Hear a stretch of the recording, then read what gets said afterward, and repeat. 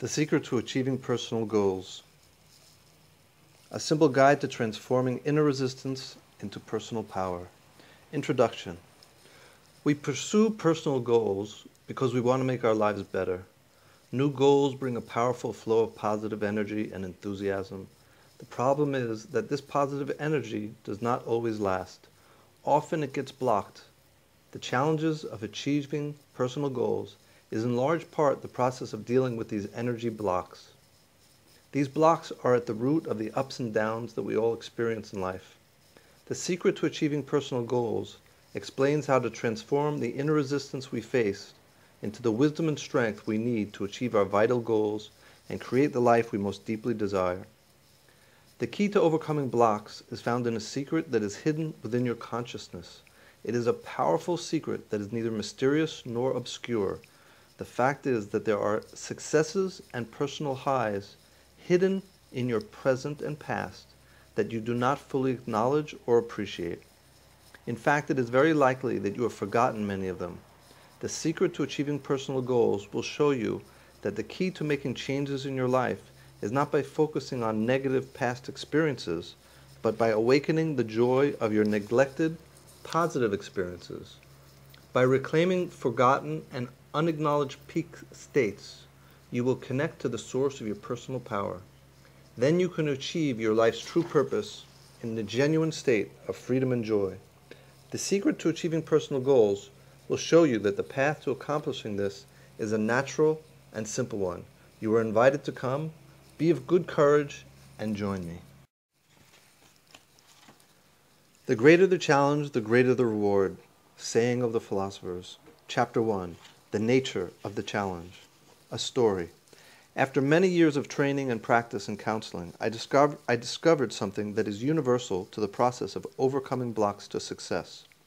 The insight is that we generally fail to fully acknowledge and appreciate the steps and the progress we make towards our goals. In fact, we often forget key successes and personal highs along the way. This forgetting is the key to understanding our blocks. The point is essential for understanding the deeper secret I'm going to reveal. For one, as you will see, this pattern of forgetting positive states reveals why we get blocked and why inner resistance to personal achievement occurs. Secondly, from a very practical perspective, if we forget positive states and successes, our lives will lose their meaning and we will be unable to achieve our goals. Any time a person is blocked on the path to achieving a goal, be assured that he or she has failed to acknowledge their own progress in one of the following ways unfairly judging his or her own efforts negatively, or minimizing and neglecting the importance of steps no matter how small, that progress toward the goal. As you shall see in the following story, the simple fact is a doorway to understanding the inner workings of our life. Mike is a friend of mine who has come to me for counseling over the years. He is one of the brightest and most talented people I know. Mike has some difficulties finishing things he starts, and he considers himself to be a flake. One evening, Mike called me up and said that he needed to speak to me urgently. He came in a half hour late and did not look himself. My joyful and carefree, carefree friend, who usually starts every conversation with a joke, was in a panic and filled with stress. It was upsetting to see. I'm ready to quit my job, he told me, and leave my wife and take off. I just can't take it anymore. He then went on to relate his problems, both at work and at home. He described how he was, he was fed up with his job it wasn't what he wanted to do. He also described how his boss was mistreating him and he didn't want to put up with it anymore. He then went on to describe his dissatisfaction with his relationship with his wife. I listened and then asked some questions about other aspects of his life. To my surprise, I learned a very interesting thing. Mike was on the verge of completing two of his most important life goals. In the next few weeks, he needed to complete one term paper to get his Bachelor's of Arts degree and he had also been invited to take his black belt exam in martial arts. Both of these goals had deep significance. Mike had been working on the degree for many years. He had been two classes short, and he put the degree off for a few years. Now, now it was all but finished. The other goal was equally meaningful. Mike was the private student of a master of an ancient and little known school of kung fu. He had been studying diligently for six years, driving a far distance to his classes many times a week, and getting up early to practice. Now he was to become one of the teacher's first black belts, a great accomplishment for him and his teacher. Everything was going great for Mike, and yet one would never have known that from this state of mind. Mike and I spoke together about the profound importance of this particular time in his life. If he could hang on in for a few more weeks, Mike's entire self image would be changed forever. This self proclaimed flake would become an expert in kung fu and a college graduate. So, why was Mike in such a negative state of mind? You could call it fear of success, but it was much deeper. The stress that he was experiencing was immense. All the, negative, all the negativity stored up in his psyche was coming out in a full force attack to try to convince him that he couldn't do it, that he couldn't and shouldn't achieve his goals. The power that speaks out against us in our attempts to improve our lives, I call the inner adversary. When we approach success, the inner adversary gets down to his business, and for a special reason. If Mike does complete these goals, the inner adversary will lose a great deal of power over him. The inner adversary gets its power from the negative images and feelings we have stored in our minds. When we accomplish successes, we have the opportunity to transform those negative images and beliefs into positive ones. To the degree we defeat the inner adversary, we also free ourselves from inner resistance. Mike and I spent some time exploring and discovering the origins of some of these negative beliefs and feelings. Facing the Christ together in the special way that you will learn in later chapters helped Mike gain some remarkable personal insight. I am happy to share with you that Mike went on to complete both goals with true excellence. Some main points. Mike's story is a valuable example because it illustrates so clearly key principles that are fundamental patterns that arise when anyone seeks to achieve a goal. 1. For the problem and crisis to occur, Mike had to forget his success. You cannot have a problem if you are aware that you are in the middle of a successful progress. As long as you remain conscious of your progress and success, you cannot be in a negative state. Negative states arise in proportion to the degree we forget our success. I'll repeat that. Negative states arise in proportion to the degree we forget our successes.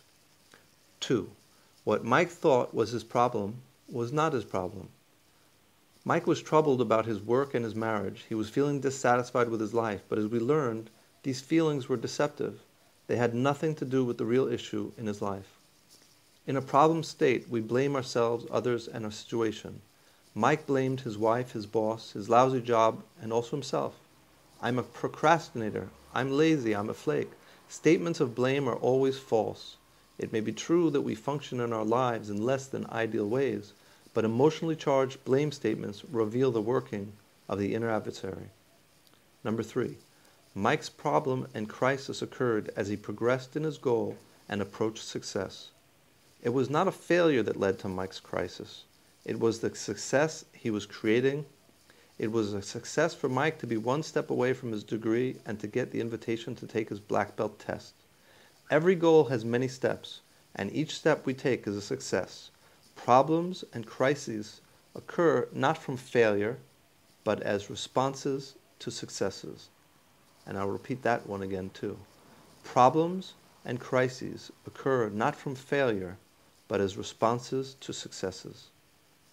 Number four, the crisis point is an opportunity for profound personal discovery.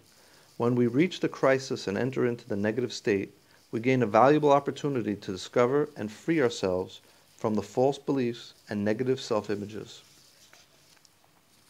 Number five, we gain positive change and growth when we stick to our goals. The only way to solidify insight and free ourselves from false beliefs and negative self images is by challenging them through action.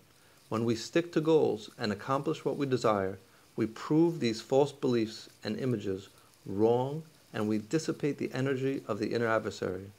Mike's story is not unique, and the lessons here are universal. Nearly all human problems can be explored in the context of goals and blocks to achievement. My colleagues and I have seen the principles described here applied successfully in thousands of instances and in all kinds of challenges that people face. pursuing a goal can be broken down in a few parts in a sample chart. The chart says energy cycles for pursuing a goal. Number one, the aha stage, set a goal. The number two stage, progress as you pursue your goal. Number three, facing the energy block or facing a difficulty. This has two possibilities. It can lead to quitting, or the second possibility is a breakthrough that continues the progress to finally, number five, achieving the goal. The stage where progress is blocked by a difficulty is the pivotal moment. Understanding the dynamics of pursuing goals is essential to health and personal growth. Goals provide the energy of our lives. When we channel that energy towards the goal, we grow. When that energy, when that flow of energy is blocked, or when we quit the goal, that energy gets trapped within us and causes physical and psychological health problems. The primary insight of this book is that the blocks and negative energy that arise in the pursuit of a goal do not come as a consequence of failures, but because of our progress and the potential of success. The biggest human problem is not the actual failure to achieve what we desire. That is, the things that we blame ourselves and others for. The real issue is the refusal to acknowledge successes. But the question is, why? The idea may sound puzzling at first because we usually attribute the cause of negative energy to our problems and limitations, things we blame ourselves for, such as I'm a loser, I'm a procrastinator, I'm no good, etc. But the truth you shall learn in the following pages is that these blaming statements are the expression of our inner adversary, with its army of negative self images defending themselves against the potential of success and change. The lesson we must learn is not to believe these negative feelings and thoughts, but to confront them, learn from them, and gain strength from the battle. You shall see that despite its opposition, ultimately the inner adversary serves a beneficial purpose to help us grow. Without opposition, there would be no necessity for us to become stronger. The nature of the challenge. We all set goals and we all face the challenge of achieving our goals. The simple question is why is it at times so difficult?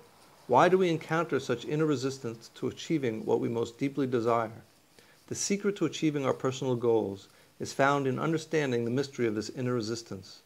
The presence of inner resistance reveals the importance of a goal and the potential it brings for good in our lives. Let us begin by first looking at what is at stake in the pursuit of a personal goal. We pursue our goals because they are desirable to us. If something is good, then it radiates with the light of a particular benefit. We exercise because we desire greater strength. We strive to break bad habits, like smoking and unhealthy eating, because we want to improve our lives. We go to school because we seek successful careers and the livelihood to build our personal lives and families. We practice music and other arts because we seek the joy of artistic expression Therefore, we take on the challenge of achieving a specific goal in order to bring the light of that benefit into our lives. Whenever we pursue goals, we inevitably face challenges. By confronting these challenges, we have the opportunity to achieve a second kind of benefit. We discover the hidden strength and self knowledge necessary to overcome the personal challenges. When we overcome our limits and break through barriers we also gain a deeper appreciation of our individual lives and the beauty of life itself. There exists, however, a voice and a power within our psyches that resists the awakening of this beautiful and beneficial light in our lives. This voice expresses itself within our minds in many ways and feelings. It can, it can arise silently in feelings of tension, fear, anxiety, and frustration. It also can speak in statements of fear, doubt, discouragement, self criticism, and blame. It interprets our worldly challenges to be permanent barriers that make success impossible. Sometimes it speaks in very subtle arguments and says, You're okay the way you are. You don't need to take on this challenge, this higher goal. In short, it argues in every possible way to persuade us to abandon our desire for a better life. I call this power the inner adversary. So, what advice is generally given against the resistance of the inner adversary? The advice often expressed is build the willpower to overcome the inner resistance. Although willpower is necessary for personal development, and it certainly succeeds up to a point, willpower is often insufficient by itself to meet the greater challenges. This is because willpower alone is like having an army without a general. A big army without intelligent leadership can win smaller battles, but when it comes to the big battle, it will rarely, rarely be victorious. What, after all, is the reason for this resistance to achieving good things? It is very difficult to fight inner resistance when we do not understand why it arises in the first place, or what the battle is truly about. On the face of it, it doesn't make sense. We desire good things, but at the same time, part of us resists achieving them. Why do our own minds pull us in two completely different directions? Moreover, since this resistance comes from our own minds, it, it is often a source for continued self criticism and blame, which further strengthens the resistance to growth. The danger is that the inner adversary will persuade us to abandon our goals and the vital benefits that the pursuit of personal growth brings.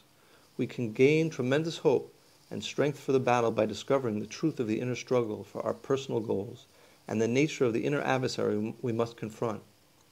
In the following chapters, you will learn the secrets of how the inner adversary works.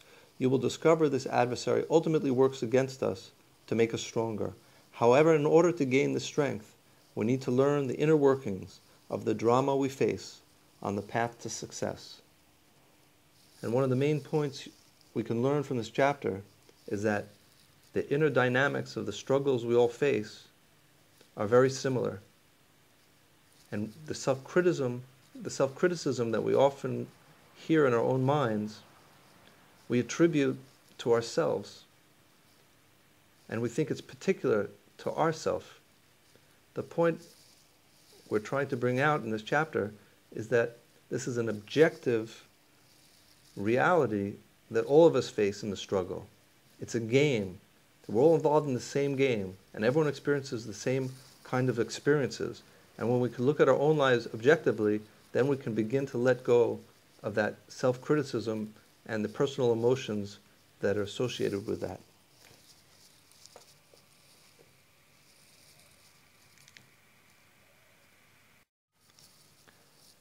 Our aspiration is the key to our inspiration. We are not judged by what we have achieved, but by where it is we are going. A quote by Rabbi Abner Weiss. Chapter 2 Goals. There is an old riddle that asks, What is both the loudest thing in the world and the quietest thing at the same time? The answer is a thought. A thought is the quietest thing because it makes no sound, and yet you can hear a thought above the loudest sound. Thoughts are the expression of ideas, and they are not only the loudest, but also the most powerful things in the world. Ideas ignite people, individuals, communities, corporations, nations. They are the source of all movement and action. Have you got an inspiration that has sent a burst of energy through your body as if you were struck by lightning? Eureka! Out of nowhere, you realize you want to learn the piano, start a new business, lose weight, maybe take an art class. Whatever the particular, it is a goal that excites you and brings you energy into your life. In those initial moments, there is an excitement, and when you reflect on the idea, it generates more energy and excitement. The thought of taking on this new goal has so, so much energy behind it that it is like a steam engine loaded with coals, sending your heart pounding. Turning the idea over and over in your mind fuels the fire of the racing engine.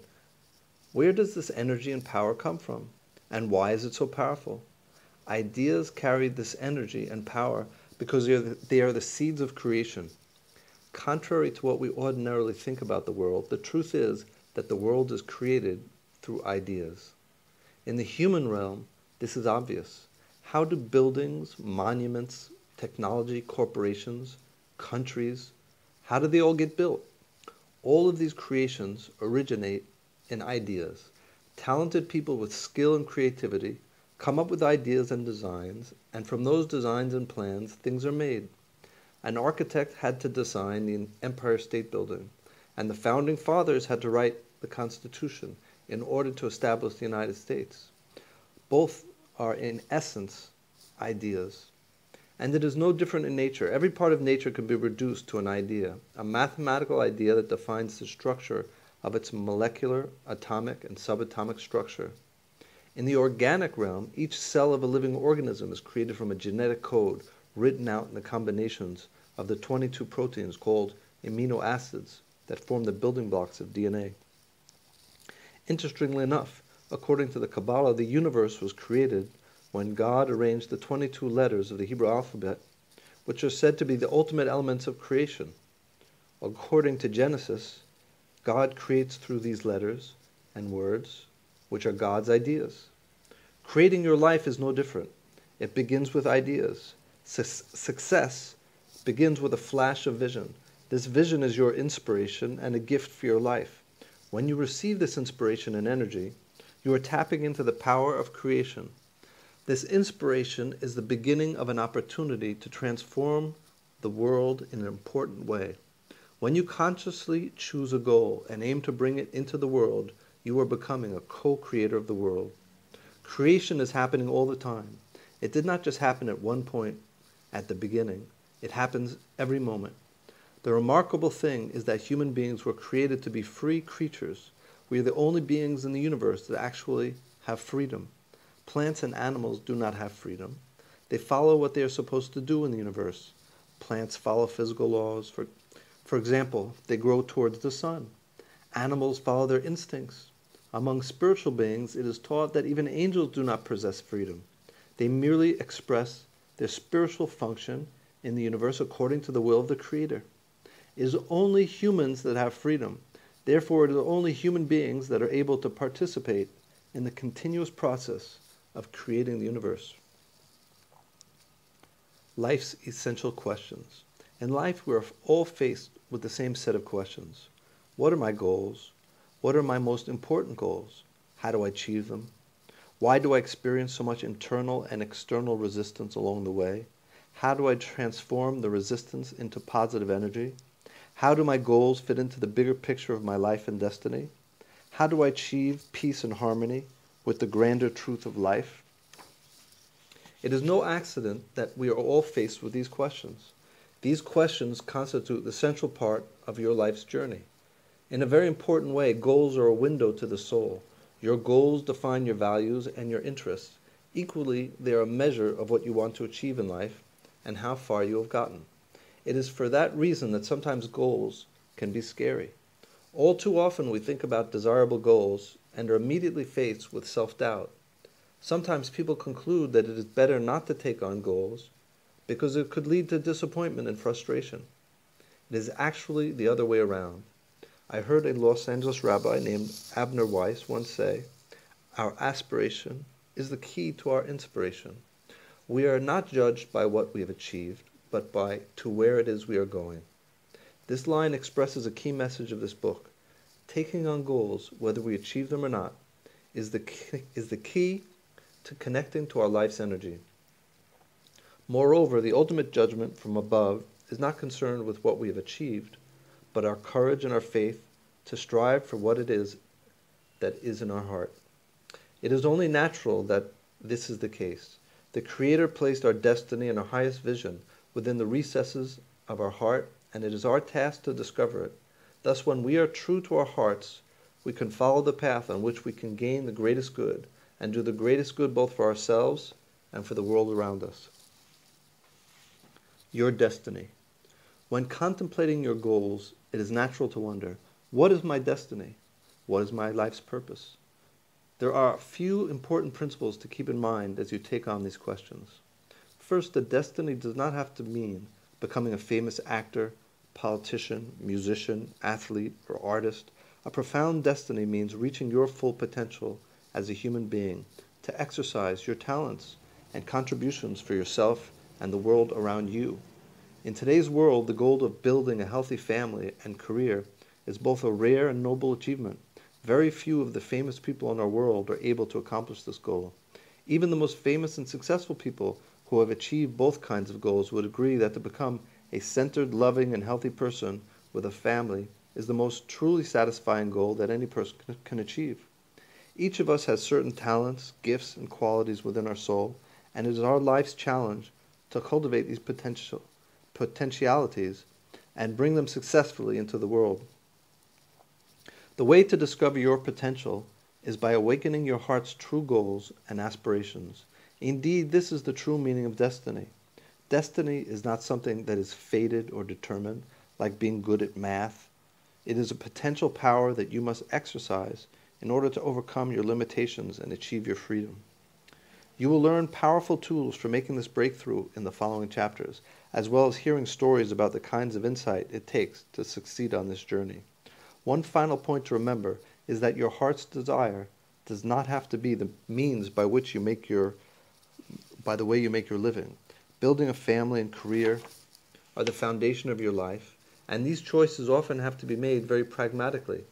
This foundation can provide you with the opportunity to pursue an art, sport, music, or other pursuits that you can enjoy simply for its own sake and for the challenge of bringing forth a potential within your soul. So let's finish this section with a story. It is one of the most beloved Hasidic tales. Reb Zushia constantly brooded over his concern about what would happen to him in the afterlife.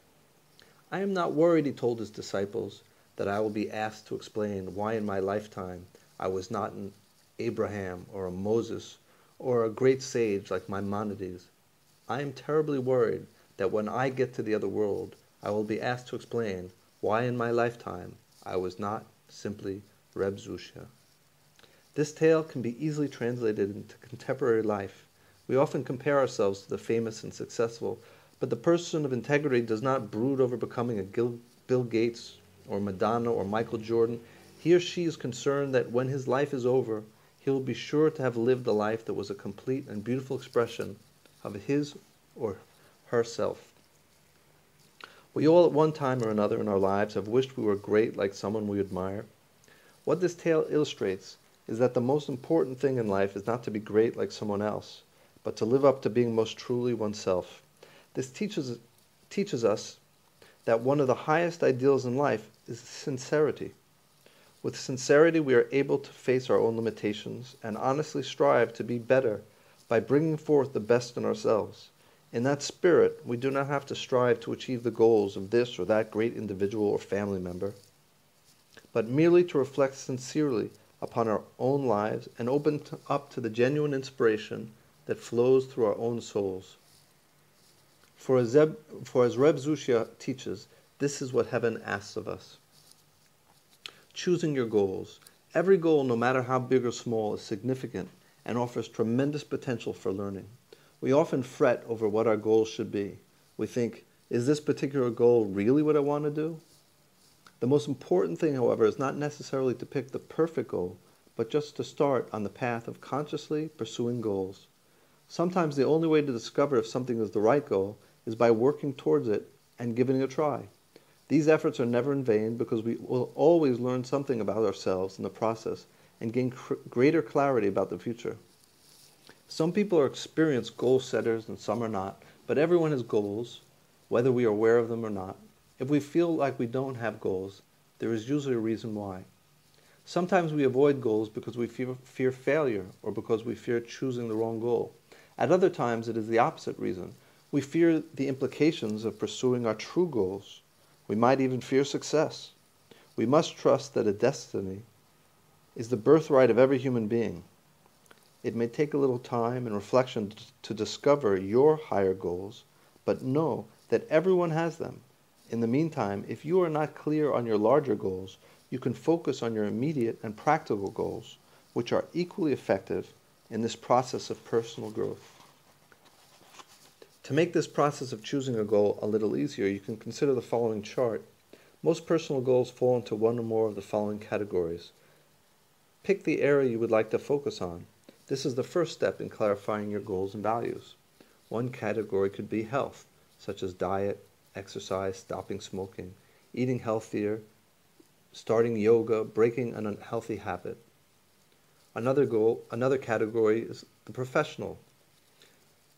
Examples would be changing jobs, improving work performance, gaining greater degrees or certificates, starting a business, Another category is educational, such as personal development and professional development. Or it could be personal interests, creative writing, art, musical instrument, dance, sports, travel. Then there's the category of relationships. We can have the goal of improving our relationship or just finding the ideal relationship, of building a family, or improving our existing family life. Another category is the spiritual.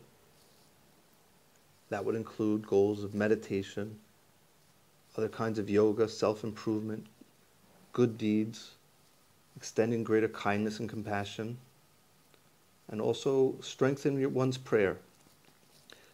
Then there are other practical, personal goals, such as organizing your affairs, breaking a bad habit, cleaning the house, writing a letter you've put off, taking care of bills, legal, legal matters, etc. You might find it valuable at this time to consider some of your past goals, immediate and long term goals within each category. Write them down, and you can be as thorough or as brief as you wish. If you're only interested in one category, then focus on that. These categories give you a range of options. For the purpose of the work in this book, it is important that you choose a goal that you would like to begin working on and which can serve as the focus of exploration in the next chapters.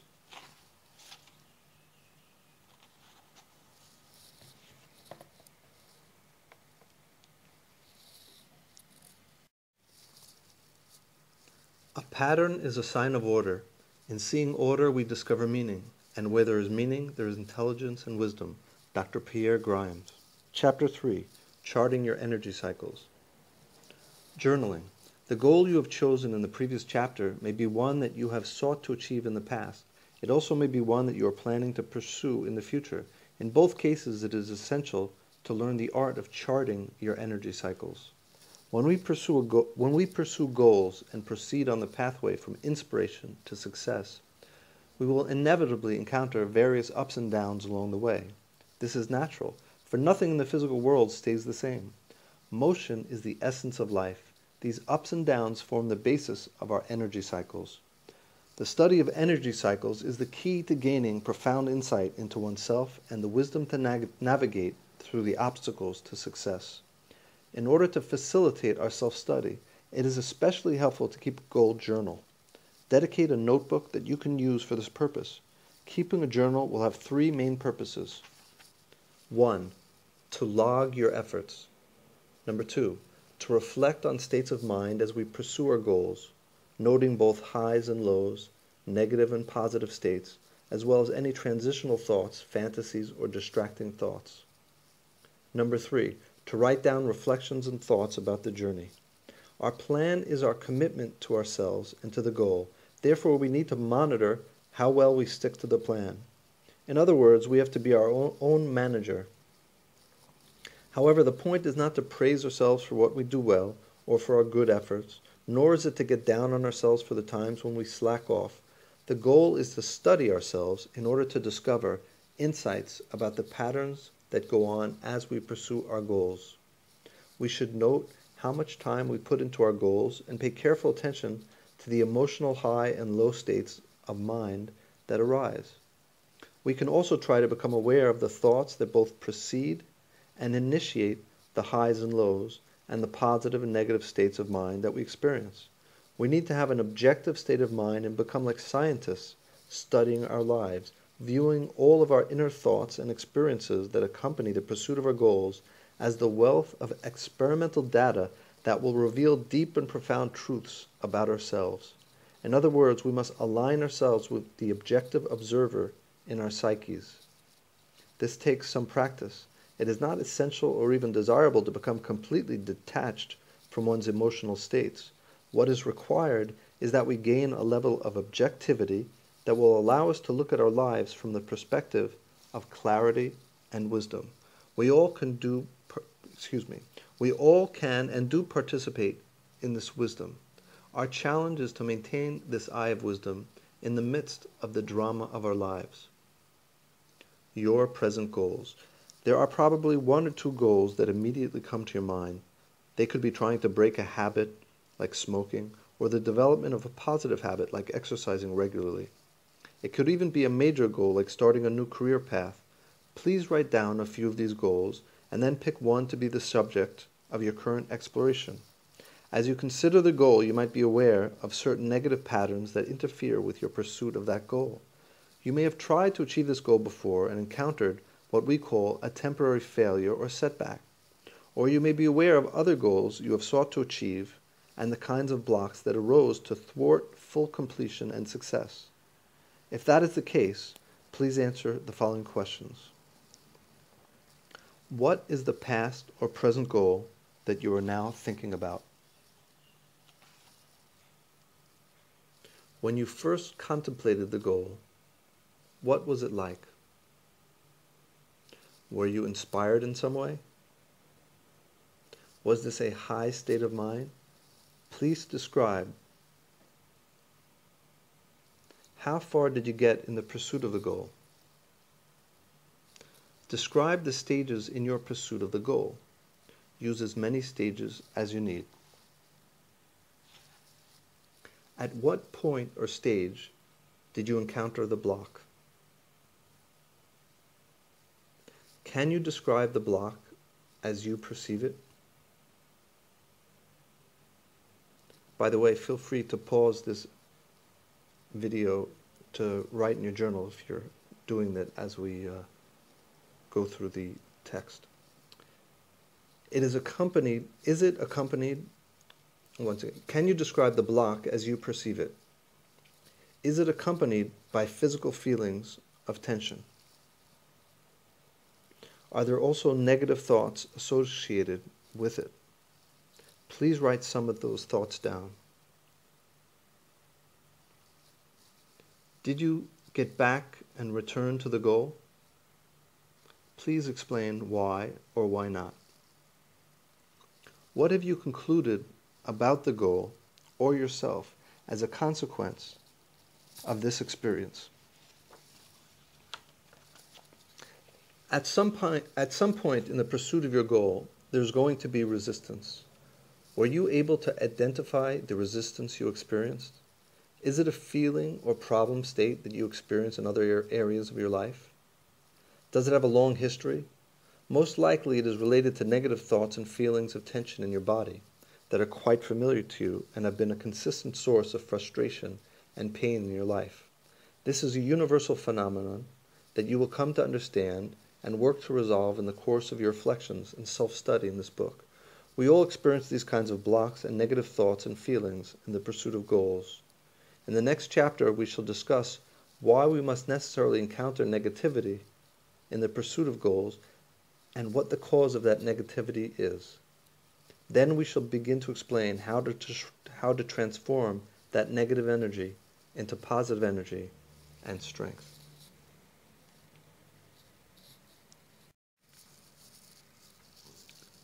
When a fruit grows, the first part of it to grow is the shell or the outer covering.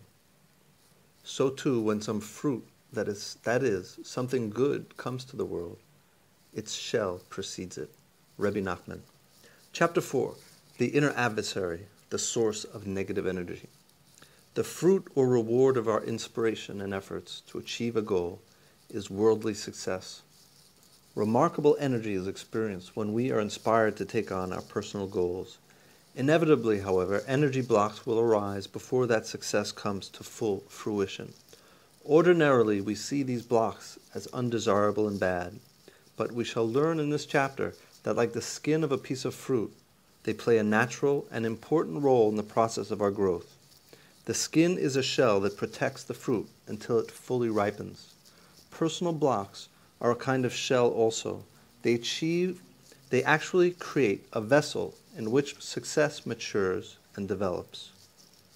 We shall also learn that the greater the struggle against these blocks, the greater the vessel we create to, bo- to both receive and protect our success. This insight into the true nature of energy blocks will help us transform negative energy into opportunities for personal enlightenment and achievement. Let us begin with the primary insight of this book.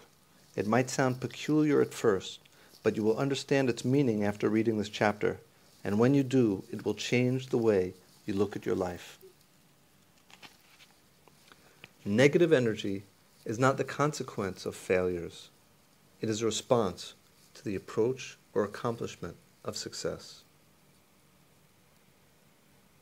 Once again, negative energy is not the consequence of failures, it is a response to the approach or accomplishment of success. What does this mean? Let us take the first part first. Negative energy is not the consequence of failures. Negative energy arises when we feel blocked from something we desire. This state of being blocked is called a problem state. Therefore, let us consider a few examples of how people often state their problems. I can't stay on my diet. I don't have the willpower. I'll never be thin. I need to exercise more but I'm lazy. I can't get along with my spouse. I'm just not good at relationships. I am bored with my job.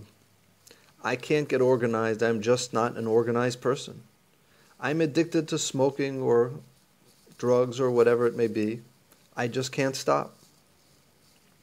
I don't have enough drive or ambition to stick to my goal of whatever that goal is. What is your goal and what is the way you express your problem? Please consider that question for a moment. What is your goal and what is the way you express your problem? As you look through each of these statements, do you see something similar, a common theme? Underlying each statement is a statement of blame. The person who makes one of these statements blames himself for a lack of deficiency in his or, her character. For example, if John says, I don't have enough drive or ambition to stick to my goal of becoming a lawyer. Then he is blaming his inability to achieve what he desires on his character flaw. People can express similar statements by blaming others. It's my parents' fault that I didn't do more with my life. It's society's fault that I'm stuck in this situation. It's my spouse's fault that the marriage didn't work. It's my boss's fault that I didn't improve my career. Whenever a person makes a statement blaming himself or another, there may be some truth to it. Sometimes there may be a lot of truth. However, such statements of blame do not help individuals or groups move closer to reaching their goals. Blaming puts individuals and groups in a state where they think that they know the truth. Statements that place blame, even when true, generally block real growth and progress. This is because blame statements are an expression of anger. The real truth that we wish to discover is the truth that liberates us from all negative emotions. Even if the blame is true, the most important thing is to discover how to move forward and achieve what you desire. And no matter what the level of obstacle or difficulty, there is a way to make progress and achieve every genuine goal. As Stephen Covey and other great thinkers on personal development have noted, the very way of stating a problem can often be part of the problem itself. Whenever we cast blame upon ourselves or others, we focus on the inability to do something. To the degree we are convinced of the truth of the statement, we will not be able to overcome the problem. Blaming statements become self fulfilling prophecies of failure. This is common sense. If you think negatively, things are more likely to turn out negatively. The most important thing to realize is that the blame is a dead end street. It is a statement of where your growth stops. Most blame statements are completely false. If we look again at any of the statements above, especially the ones stating self blame and deficiencies, we can see that they are false because they make an absolute statement about personal failure. They say, I can't achieve X. The simple truth is that as humans, we all have the ability to grow and make progress in our lives. Even if that progress is modest, it is still progress and growth. These can't statements block even that modest progress. And modest progress is the beginning of complete success. Worst of all, can't statements cut off hope. In each of the above examples, a positive goal becomes not only a statement of blame, but a statement of blame for a perceived failure. This leaves the person who said it hopeless. because the goal is now perceived as impossible. But the real truth is that no situation is hopeless. Therefore, these statements are an expression of something absolutely false. Why is there a resistance to success? Negative energy is not the consequence of failures. The negative energy we experience from what we perceive to be failures is deceptive. The truth is that these statements of failure are statements of blame and hopelessness that block the expression of genuine progress and potential. Moreover, they are self fulfilling prophecies, because when we say them and believe them, our energy is sapped and we give up our goals as hopeless and impossible. But this is all false. So, what is the reason for this universal phenomenon? Let's now explore the other part of this core insight. Negative energy is a response to the approach or accomplishment of success. But why? This seems completely counterintuitive. How could this possibly be the true explanation? Why would we respond to the approach or achievement of success negatively? After all, the goals we want to achieve are generally extremely good and beneficial to our lives. Why would something within us resist the achievement of these good things? The answer is surprisingly simple. Although the resistance and negativity we experience is painful, it ultimately exists for an essential reason to make us stronger. As my good friend Tzvi Freeman says on behalf of his teacher, the Lubavitcher Rebbe, in his inspiring book, Bringing Heaven Down to Earth, life's challenges are isometrics for the soul. They force out its inner powers. Isometrics is a kind of exercise where we use the energy of our, energy of our own body pushing against itself to build muscle strength. For example, you might push your hands against one another to build the strength of your arms. In the same way, life puts the oppos- opposition to us in various ways to help us grow. One of those ways we are challenged is by the very resistance we experience within our own minds. Although this force seems like an inner enemy, in truth, it functions like our opposite hand, pushing us to gain in strength. That is why I call it an adversary. The inner adversary is a source of the adversity we experience, but it is not motivated from hate or evil. An adversary is not necessarily an enemy. It is one that functions opposite us. In this case, like an opposing player in a game or like a coach, challenging us to reach new heights. However, when we don't recognize this force in this way, in its worst manifestations, it can appear like an evil enemy torturing us. The key to transforming our negative energy into positive opportunity is to change our, perce- our perception of the inner struggle we face. It is essential to see our life's challenges in the most positive and beneficial light. We achieve this by gaining an understanding of the purpose and function of the inner adversary. You know, that's so important. I want to repeat it again, please. An adversary is not necessarily an enemy. It is one that functions opposite us. In this case, like an opposing player in a game or like a coach challenging us to reach new heights. However, when we don't recognize this force in this way, in its worst manifestations, it can appear like an evil enemy torturing us. The key to transforming our negative energy into positive opportunity is to change our perception of this inner struggle we face it is essential to see our life's challenges in the most positive and beneficial light. We achieve this by gaining an understanding of the purpose and function of the inner adversary. The inner adversary blocks the way to success for two beneficial reasons. First, a goal is not worth anything unless it requires a significant challenge to achieve it. Second, it is through overcoming challenges and resistance that we bring forth our inner strength and power. In fact, the very challenge and resistance becomes the source of our strength. Signs of success. The most astonishing aspect of this insight is the idea that negativity and struggle are actually signs of success. But let us explain this more specifically. Consider the example of Joan, who is overweight and is struggling to maintain her diet, not only for her appearance, but also for the sake of her health. Joan begins her diet with a very positive state She has the inspiration and image of her new self in mind and feels a tremendous amount of energy. She makes a plan and commits to it. She achieves emotional harmony and physical energy and completes three perfect days. On the fourth day, Joan begins slipping, and the fifth day is a disaster. She goes to a party and has two pieces of chocolate cake in a corner when no one is looking. She comes home and cries to herself and says, I can't stay on my diet. I don't have the willpower. I'll never be thin. She feels like a miserable failure.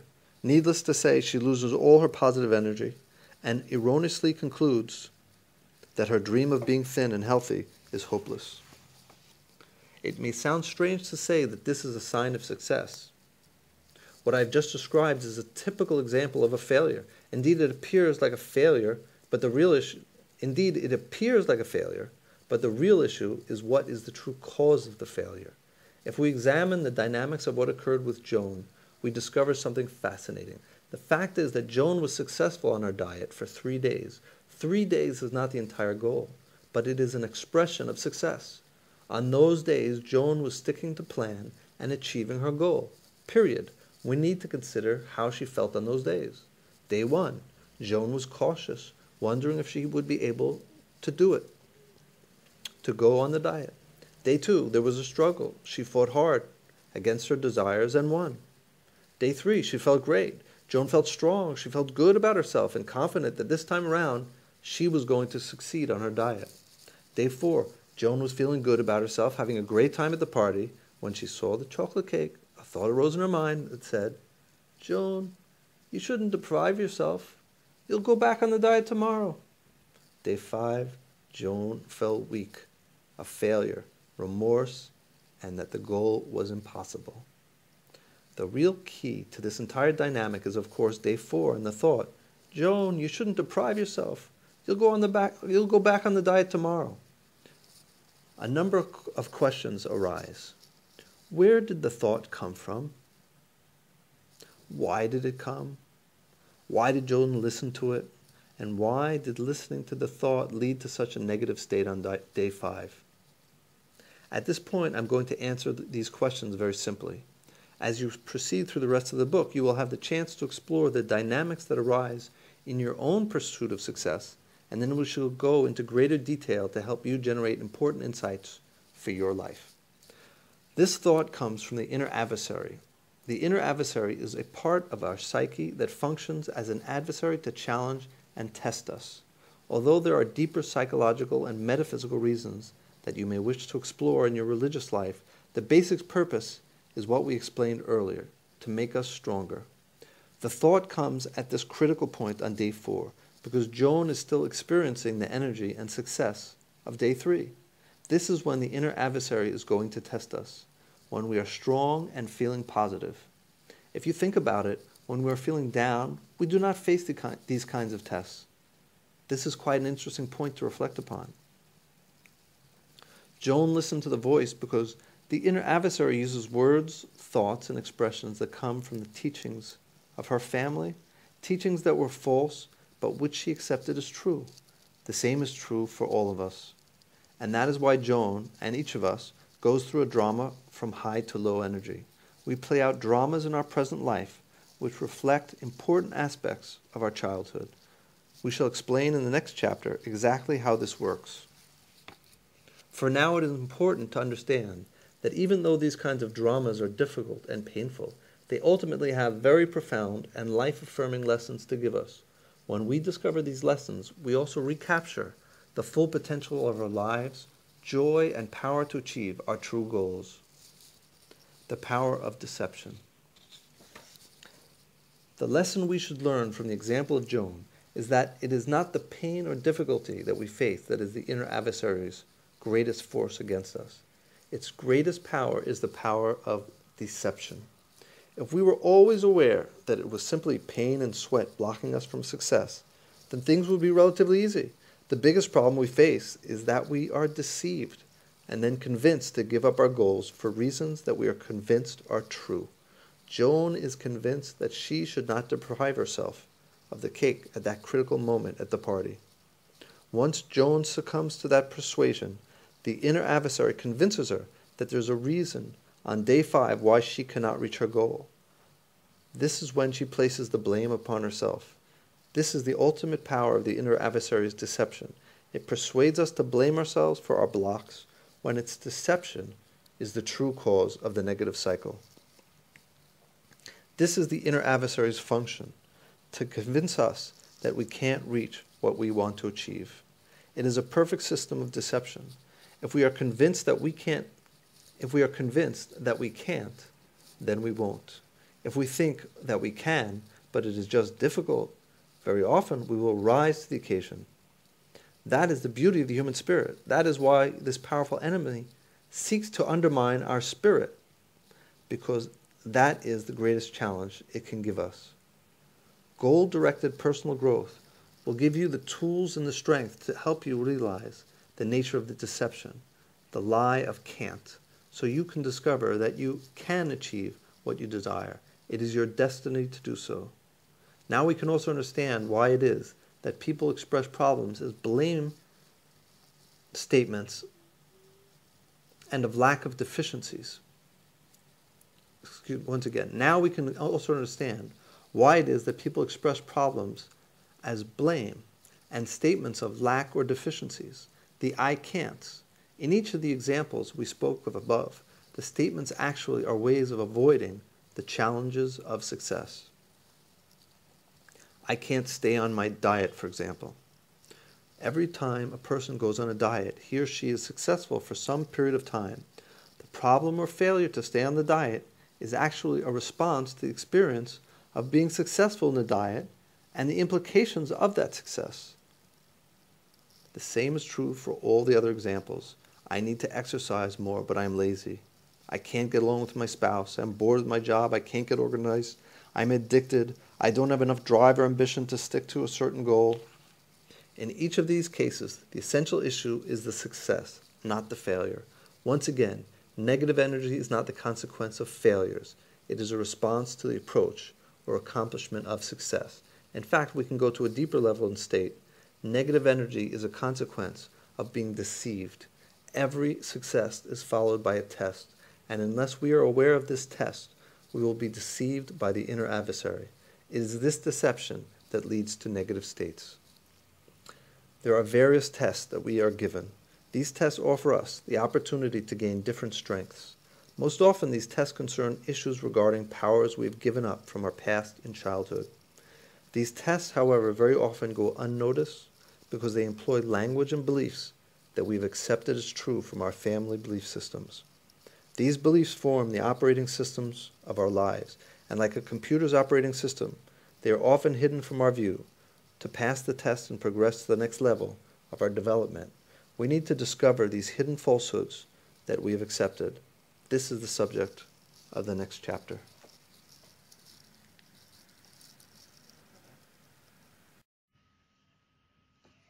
A problem is that which can be solved. Euclid, the ancient Greek geometer. Chapter 5 The Anatomy of a Breakthrough Goal Directed Problem Solving. If you or someone you know has gone through a healing journey, then you know that the process of healing is often quite simple. By healing, I do not mean a medical cure through drugs and therapy, but a discovery of the inner power to heal the body or soul.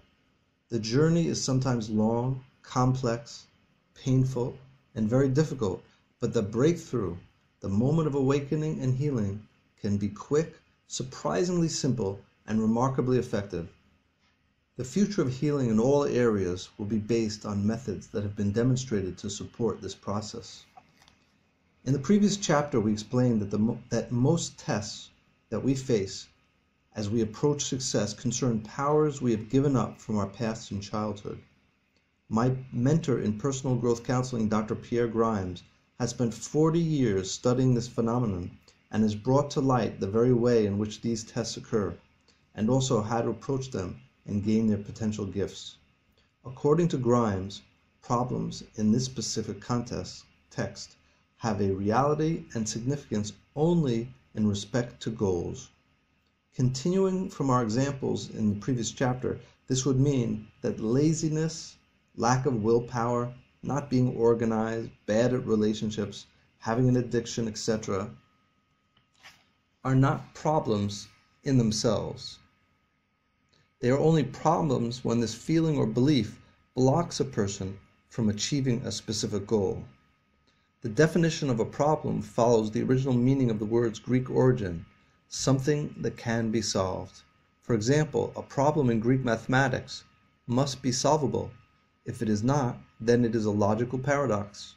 When problems are explored in relationship to goals, they can be solved. If they are not examined in relationship to goals, they cannot truly be solved. Let's look at the example of Joan again. If Joan says she is feeling down and depressed, she does not have a problem. She just doesn't feel good. She is merely describing a negative state of mind. However, if Joan says that she wants to lose weight and yet believes that she can't because her lack of willpower will prevent her from achieving the goal, then we can say that she has a problem as we are defining the term according to Dr. Grimes. A problem statement generally describes a feeling state and thought that makes the achievement of the goal seem impossible. This failure to define problems in relation to goals is part of the reason why many people are often dissatisfied or confused by some kinds of therapy. We often hear people saying that they don't know how long therapy will be required or how to judge if it has been successful or not. A goal directed approach to personal growth offers a solution for many who seek this kind of development. Goals provide the very standard for determining when a problem is solved.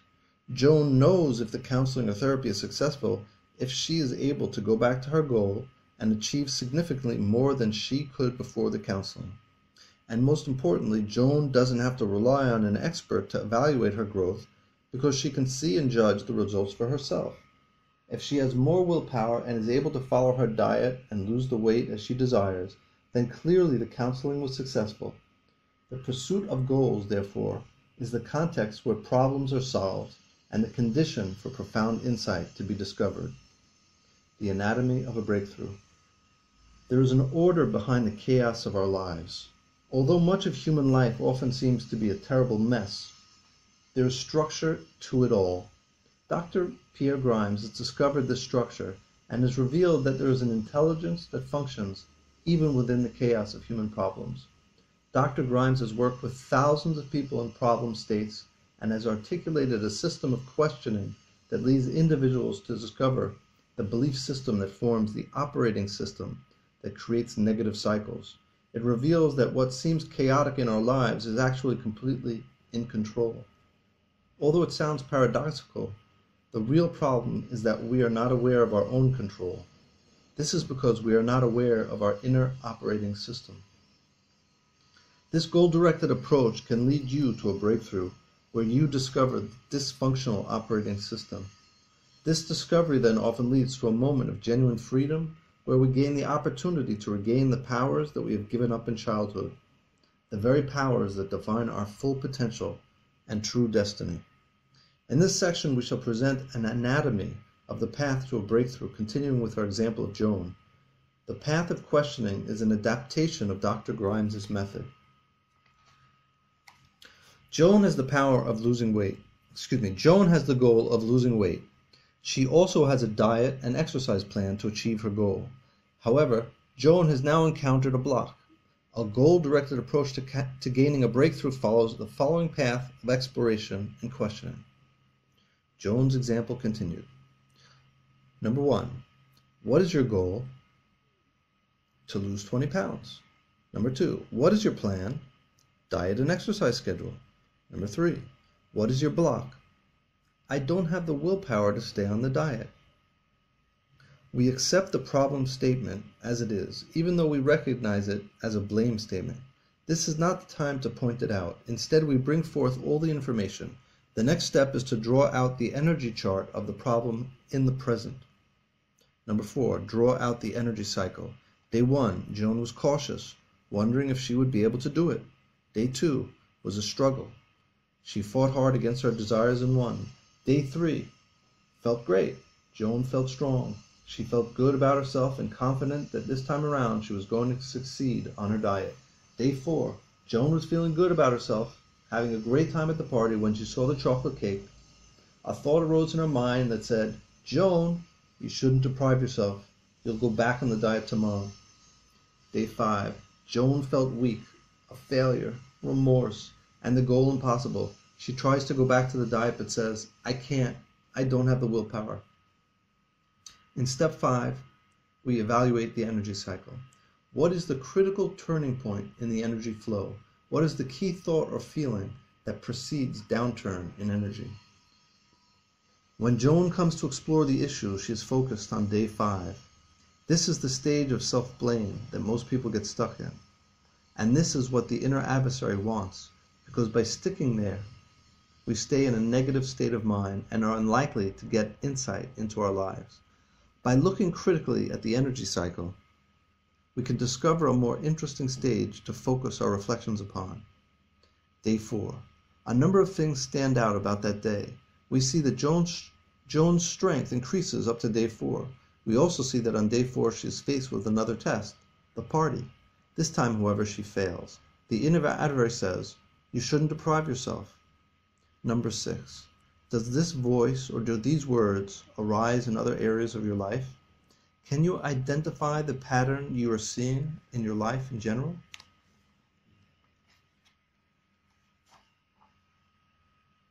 In other words, can you identify the pattern you are seeing in this example also in your life in general? At that point, Joan says, My goodness, this happens to me all the time. I feel like I shouldn't deprive myself, and then I end up doing things that harm me. This happens when I try to budget my money, my time, and my relationships, and it leads me into actions that turn out to be harmful, but somehow I can't stop myself. At this point, Joan really has, has identified the issue in her life. It is not about diets.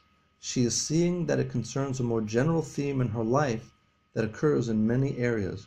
Joan sees the general pattern. Number seven, can you chart an energy cycle for how this pattern arises in other areas of your life? Joan then could chart an energy cycle in other areas, trying to restrict her spending or end a relationship. She will then see the same dynamics occur. A.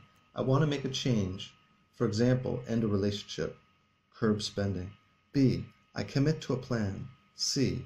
I make an initial success. D. Then I reach a point where I feel good about myself. E. The voice arises. You shouldn't deprive yourself. And then I give in. F. When I feel miserable, then I feel miserable about myself. I have no willpower and I'm a failure. Step 8. Why does this thought have such power over your life? Now Joan can explore an essential question in her life. Why does the thought, you shouldn't deprive yourself, have such power to deceive her? The most interesting thing at this point is that Joan will have tremendous difficulty in acknowledging that this voice is false. Even though she sees it leads to harm, she also feels that it is the absolute truth. And when asked, she responds, But I shouldn't deprive myself.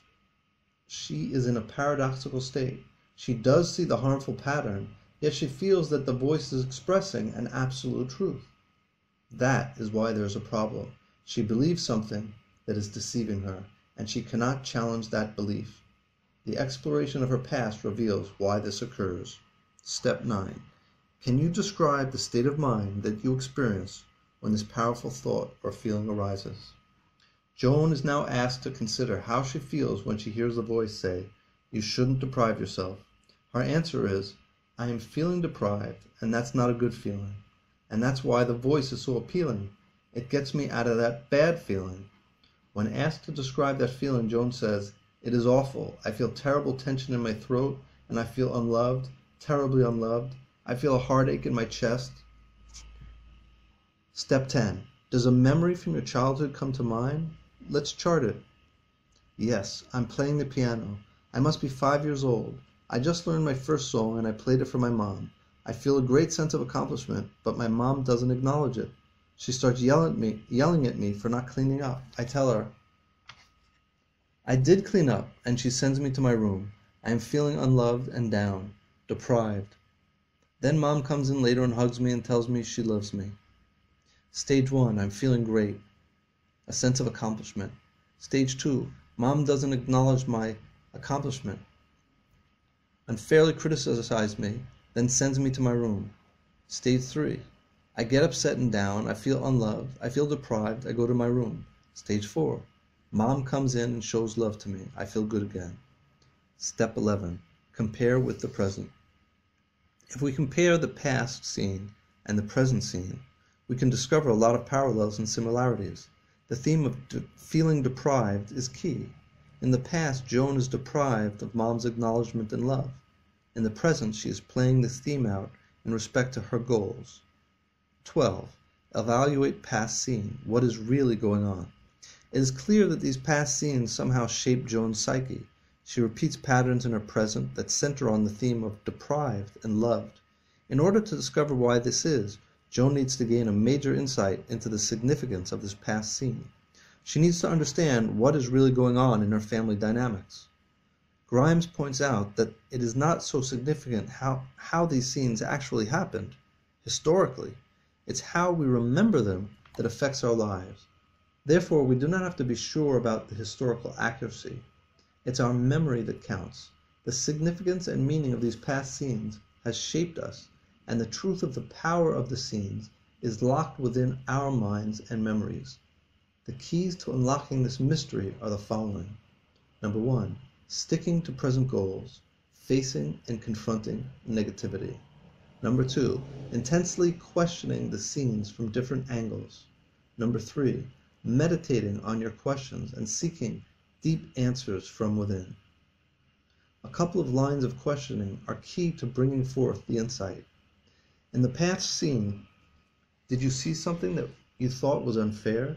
Did you express it? Why or why not? What would have happened if you did? In Joan's scene, can we identify what was unfair? Joan had a success at the piano, but mom refused to acknowledge it. Instead, mom used that positive moment Joan was enjoying to criticize her. It would be important for Joan to consider whether mom did acknowledge her successes in general. In Joan's case, mom did not. Consequently, the key issue for Joan is why is it that mom doesn't acknowledge my successes? Was there something positive about the scene? Was this a way of relating and showing love? Why was this your family's model of showing love and care? Joan realizes that mom only showed affection after sending her to her room and when no one else was around, like dad. Expressions of love were not allowed around dad. He would get jealous. Mom showed love, but why couldn't she show love by acknowledging the accomplishment? Was the family threatened in some way by Joan's positive state of mind or accomplishment? Why? Joan sees that success is a state of positive energy, joy, vitality, and that wasn't allowed expression in the house. In fact, that was a major theme in her home to not express love openly. What is the significance of the key theme? How does that relate to a family teaching? Aha! Joan realizes that mom used to complain that she was deprived of love from her father, and that made her mother very distraught and miserable, and she would tell Joan not to ever end up with someone who would deprive her of what she needed. Are you following that family teaching today? Are you also playing out that family drama on yourself, taking on multiple roles? Oh my, Joan says, I am seeing the restrictions I place on myself to achieve a diet or budget as a form of being deprived and then I'm breaking my limits because I'm listening to the voice that says, don't deprive yourself. That's my mother's voice, and the restrictions are like my father, and the whole thing is a way of re- reliving this scene in the past where I'd have accomplishments and then be put down by my mother. So, why are you playing out this family drama? The inner adversary brings forth the voice that says, Don't deprive yourself. This voice is persuasive and gets Joan to give up her goal. We each have such a voice in our own lives. So why does this occur? Have you ever noticed how joyful and full of energy children are? It is astounding. So what happens to humans as they become adults? The plain truth is that most families cannot accept so much positive energy. This is because we are filled with restrictive beliefs that limit our ability to be both positive and see the world with clarity. Just consider when you are feeling down, depressed, frustrated, or angry about something, what is it like to be with someone who is free of all care and filled with joyful bliss? Would you, would you agree that it is generally hard to endure? Children of both clarity and pure positive energy In order for children to adapt to the limitations of the family psyche and family dynamics, their energy also has to be limited and restricted. Otherwise, they will never fit in and become part of the family. Parents react to this positive energy, not consciously, but almost mechanically. They react instinctively to children's positive states at certain key times in their children's lives as opportunities to introduce the family's limiting belief structure. The most remarkable aspect of Dr. Grimes' work is that he's de- demonstrated how aware children are at very early ages of the truths of the family structure. The joyful clarity of a child's mind allows them to see with great precision the way in which the family is challenging the positive state that he or she enjoys. When this challenge occurs, the child generally does not stand up for himself because the challenge centers around an essential aspect of the family belief structure. In Joan's case, she has just finished her first song at the piano. She is jubilant and proud. At this key point, mom challenges her about her chores. Joan has the option to ask mom about her accomplishment at the piano, but she doesn't. At five, five years old, she realizes that people don't get acknowledgement and praise in the house. To ask for acknowledgement would invite an attack. Therefore, she gives up her positive state of mind and takes on a negative state of mind, mom state, feeling deprived. By taking on this negative feeling and belief, she actually becomes part of the family. She can now share a key experience and state with mom and dad and her brothers and sisters. She can now share a key experience and state with mom, dad, and her brothers and sisters. The motion between feeling good and feeling deprived is the key to the drama of each of their individual lives and the family dynamic. For Joan and for all of us, there's a re, is, there is really no alternative. If she maintains her positive state and refuses the negative one, she is ignored and exiled by the family. By taking on the negative feeling state and going to her room, she later receives mom's love in the way mom is able to express it. If she remains in the positive state, she will be deprived of love altogether. In her present life, Joan is living in this same structure. If she remains in the positive state of achieving her goals, her psyche tells her she will be deprived of love because that is what she experienced in the family. By breaking the diet, she also breaks the power of feeling deprived and also plays out the next stage of her cycle she goes from accomplishment to feeling miserable, and she plays her mom's role on herself, criticizing herself for her failure. In the present, however, there is always dissatisfaction because the goal is not achieved, and a frustration about why this pattern occurs continuously and thwarts her from her plans. But even this negative pattern serves a positive purpose. The similarity between present and past exists because the inner adversary wants us to ultimately turn back to the past and regain the joy and vitality we had given up as children. This is what the inner adversary is challenging us to do.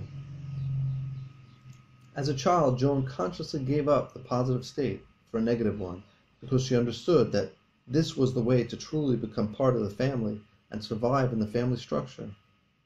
Now, as an adult, However, she has the freedom to reclaim the positive power she has given up and discard the negative and false way of being she has taken on. At this point, it is essential to recognize the role of love in these scenes. When an individual like Joan goes through such an exploration, she discovers that many of the restricting feelings and frustrations in her life are the direct result of past scenes where a family belief system and dynamic closed down her positive states. It is very easy to go from self blame to blame of parents. However, there is a much deeper understanding of the reality of our lives. The truth is that each of us is limited by belief structures, including our parents, for they suffer from the same problems as we do. If they knew how much their actions caused us to suffer, they certainly would not have acted the way they did. By looking carefully at our past, we can discover that what motivates such scenes as Joan's is love. In these moments, parents try to share with children what they think they know is best. The problem is that when they think what they think they know is a false and sick belief. However, the transmission and receiving of the sickness is done through love. When we realize this as adults, we have the remarkable and precious opportunity to reject what is false and focus our appreciation and love on the beneficent, beneficent intentions of our parents or other family members.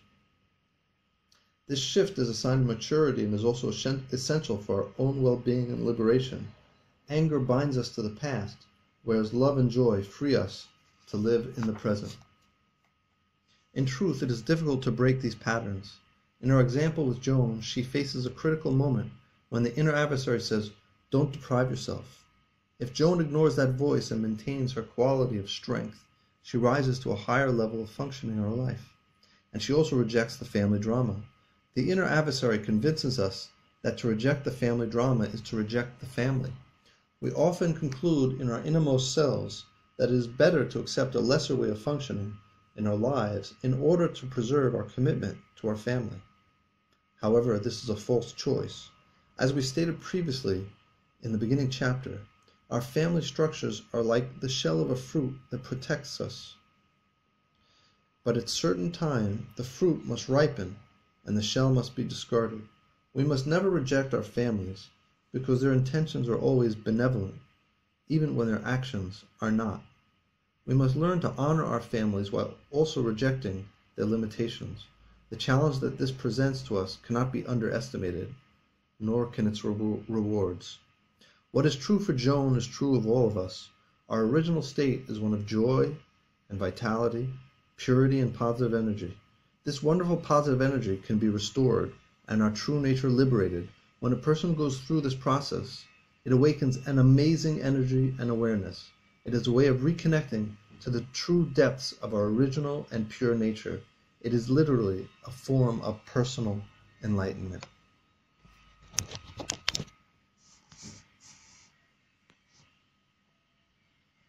For some, this path can take many years. Other may be prepared to go through it very quickly. Each person's pace will be different. Go at the pace you feel comfortable. The most important thing is that you honestly reflect on your experience and cultivate the courage to continue on the path of growth. Remember that the inner adversary will also attempt to block you from doing this work, so you can use the blocks that you experience in this chapter as the subject of your explorations. The way to do this is by following the same line of questioning as in Joan's example in the previous chapter. Please use your journal. There are also blank pages for your notes at the end of the book. Stage 1 Exploring Present Patterns and Blocks. What is your goal? What is your plan to achieve the goal? Draw out the energy cycle you experience as you pursue this goal. Write out these current scenes and cycles in detail. After writing the details, you will need to refine your analysis. First, divide the cycle into its key stages, as if it were a drama from a movie or play. Try to focus on the essential points that determine the highs and lows. Review the examples from Chapter 6 and also Chapter 3 to discover how these scenes are analyzed. See if you can see a similar pattern in scenes from your life. Usually when we start a goal, we experience a kind of high, an initial enthusiasm for achieving what is desired. Did you experience that feeling? This stage is often followed by first efforts. Did you reach this point? Was it a positive and good state of mind? At some point, negative feelings or thoughts may have arisen. Are you aware when the first negative thoughts or feelings arose? If so, be sure to mark it down when did they occur? Were they in response to certain thoughts or activities?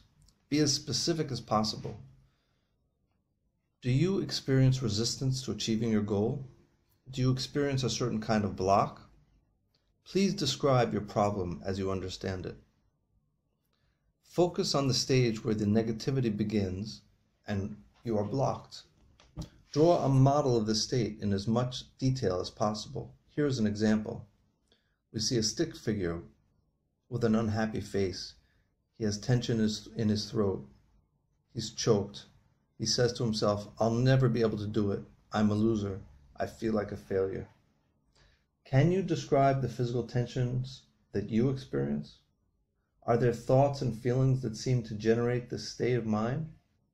Can you describe what this state of mind is like? For example, it is like I am a failure or I am stuck between a rock and a hard place. Can you identify the main theme of this scene?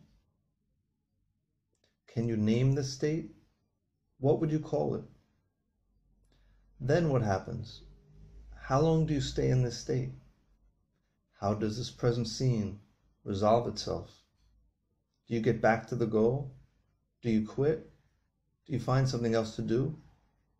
At this point, reflect, reflect on the following questions and see if any important memories arise. If so, try to write them on a paper or speak them into a tape recorder. Please feel free to pause this video and review these questions at your own pace. Evaluate energy chart. What is the critical turning point in the energy flow? What is the key thought or feeling that precedes the downturn in energy? Does this voice arise in other areas of your life? Can you identify the pattern you are seeing in your life in general? Can you make an energy chart for how this pattern arises in other areas of your life? Follow the same procedure as often as you wish to gain insight into other scenes in your recent history. Why does this thought have such power over your life? Can you describe the state of mind that you experience when this powerful thought or feeling arises? Do any memories from your childhood come to mind? Record them on paper or into a tape recorder. Stage 2 Picturing the ideal. The key to breaking free of your particular problem and limits is fairly simple. We've begun to look at the negative state now I would like you to identify the positive state. In the pursuit of every goal, there is a state of mind or a state of being that we ideally seek to express. This state can be associated with an ideal that is of central importance to you and what you experience and express in the world. It may be that this ideal is very far from your present experience, but nonetheless, please identify it. Some examples of ideals are strength, joy, confidence, caring, love, balance. The key is that it is a state that escapes you. In your peak states, you get a taste of it, but somehow this state appears to elude you, and it may even be a trigger for inner resistance and blocks. It may also seem that to maintain this state seems impossible for you. If you can identify such an ideal and block, then you have reached an important and critical point in your development. So, what is your ideal? Please write it down. What can you accomplish? How does it feel to be in that ideal state? How do you see the world? How does the world see you? How would this state change your life? Be as specific as possible. Now please draw a stick figure of yourself in this positive state, this ideal, and fill in your description as clearly as possible.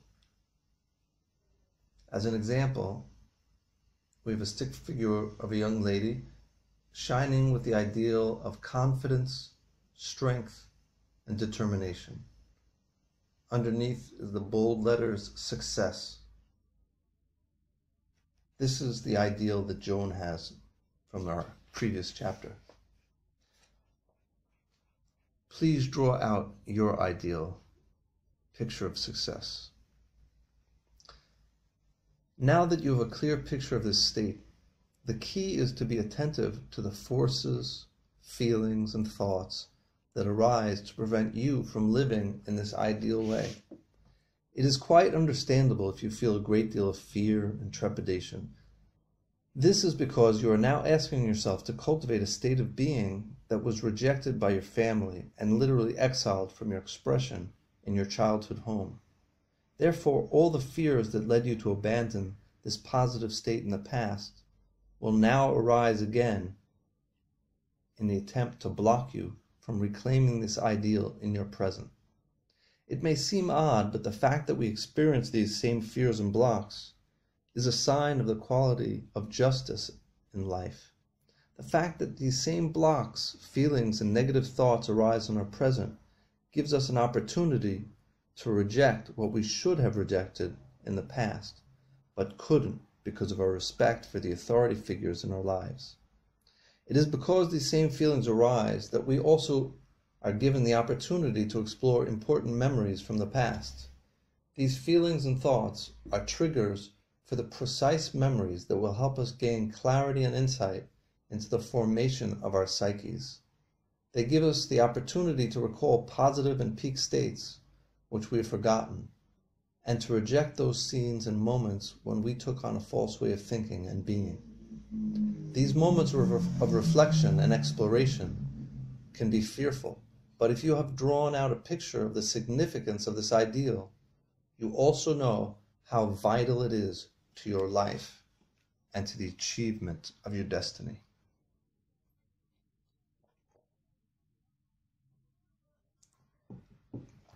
At this point, we seek to go back into our world at the appropriate time, and with the conscious knowledge of our ideal, we try to express it.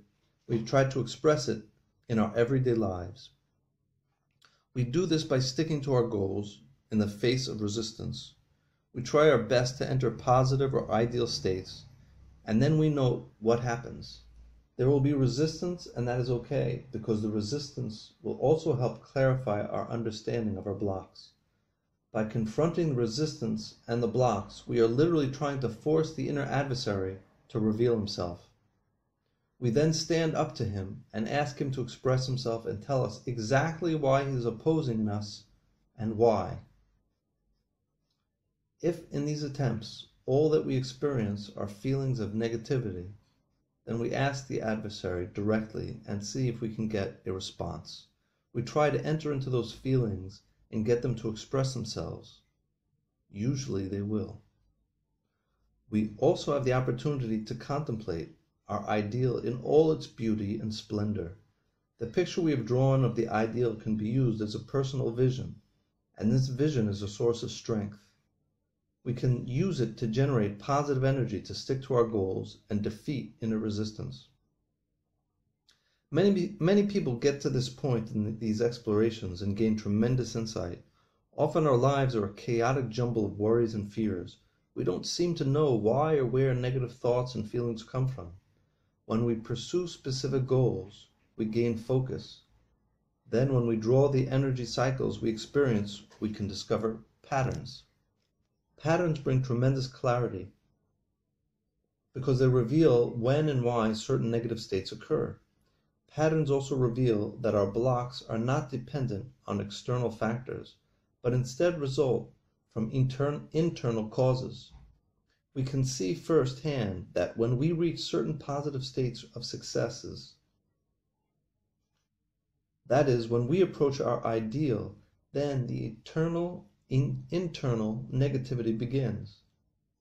Once we see this, we can gain some control over our mental life. Without this awareness, control is nearly impossible. With this awareness and realization, we can also discover that what we blame ourselves for is simply incorrect. We can see for ourselves that our blocks arise not because of the things we blame ourselves for, but as a response to positive steps towards our goals. I am not lazy because of a personal character flaw. I take on this state because it is a pattern I learned from the past.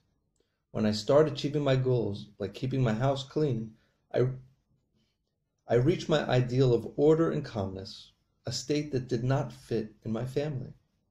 It may be difficult to experience blocks, but it is a relief to see why they arise. Imagine having physical pain that no one can explain, a headache or stomach ache. This is very frightening. What could be wrong with me? In the face of the unknown, we often fear, fear the worst. What a great relief it would be to discover that the physical pain we're experiencing is a direct, a direct result of some recent exercise we tried or a positive change we made in our diet. This means that the pains are not the result of something bad, they are actually the sign of something good. In fact, the first step in any cleansing of the body is the release of toxins And this stage is always painful. The same is true for your inner life. In the context of pursuing goals, you can discover that the pain you feel from personal blocks is a sign of potential progress, not a sign of illness. This realization itself is liberating. Stage three in our process, returning to the goal. In stage three, we, turn, we return to the goals in our present life and discover what impact our deepening awareness has on our ability to confront the inner adversary and the negativity we face. you may very well experience resistance as you begin your work towards your goal. You may even experience greater resistance. Do not be turned aside by this. Use this as an opportunity to learn more. Be like a scientist exploring your inner life, as I, as I described in the chapter called Energy Cycles. It often happens that the greatest resistance surrenders and becomes the greatest joy and fulfillment. I have often found that when I am faced with a difficult block, if I bear down and just do it, I am able to enter into my work, enjoy my efforts, and later on remember with surprise at how difficult it was to begin. If you learn how your pattern of resistance works, and you are then able to continue with your efforts in the face of it, you will diminish its power over you. You will see that you can succeed in spite of the inner, in spite of the inner adversary's efforts. In this way, you will become stronger, and in truth, this is the ultimate purpose of the inner adversary. This is the isometrics that I described earlier. When you work against the resistance, your soul becomes stronger. You discover that you are stronger than the adversary.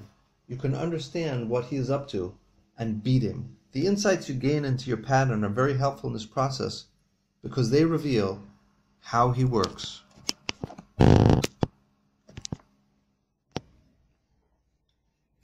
If you see firsthand in your own life that the negativity you experience arises as a result of your progress and success, what are you going to do?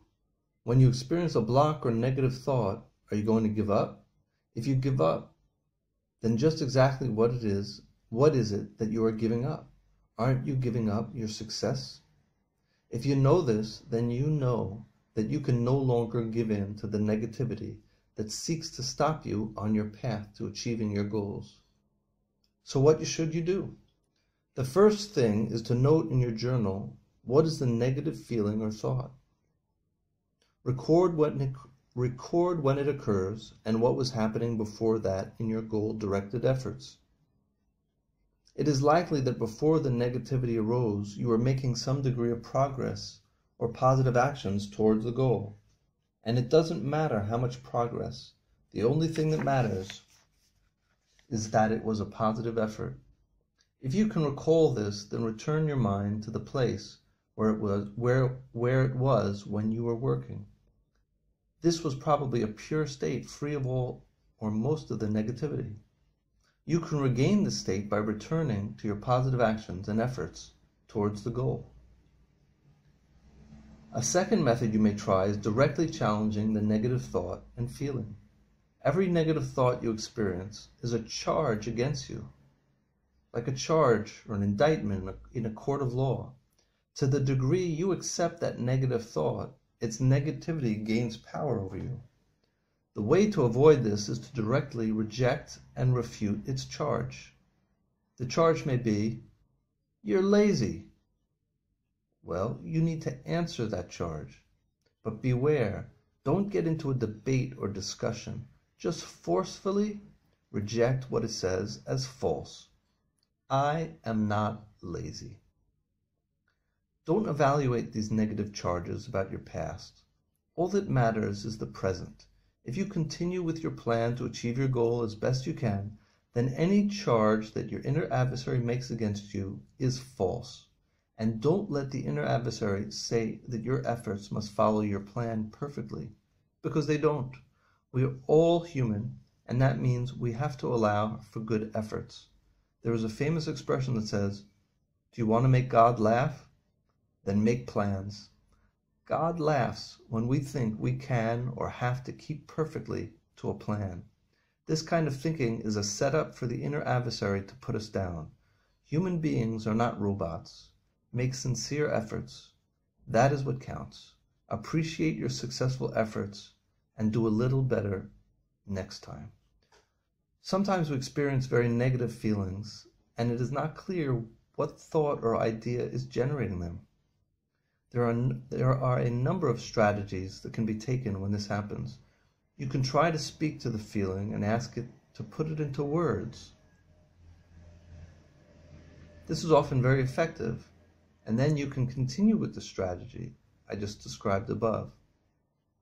In, in other words, that feeling state, even though it doesn't express itself in a clear statement, we can look directly and invite it to bring forth the statement that we then can use to to uh, review and and also uh, refute as we did in the previous paragraph.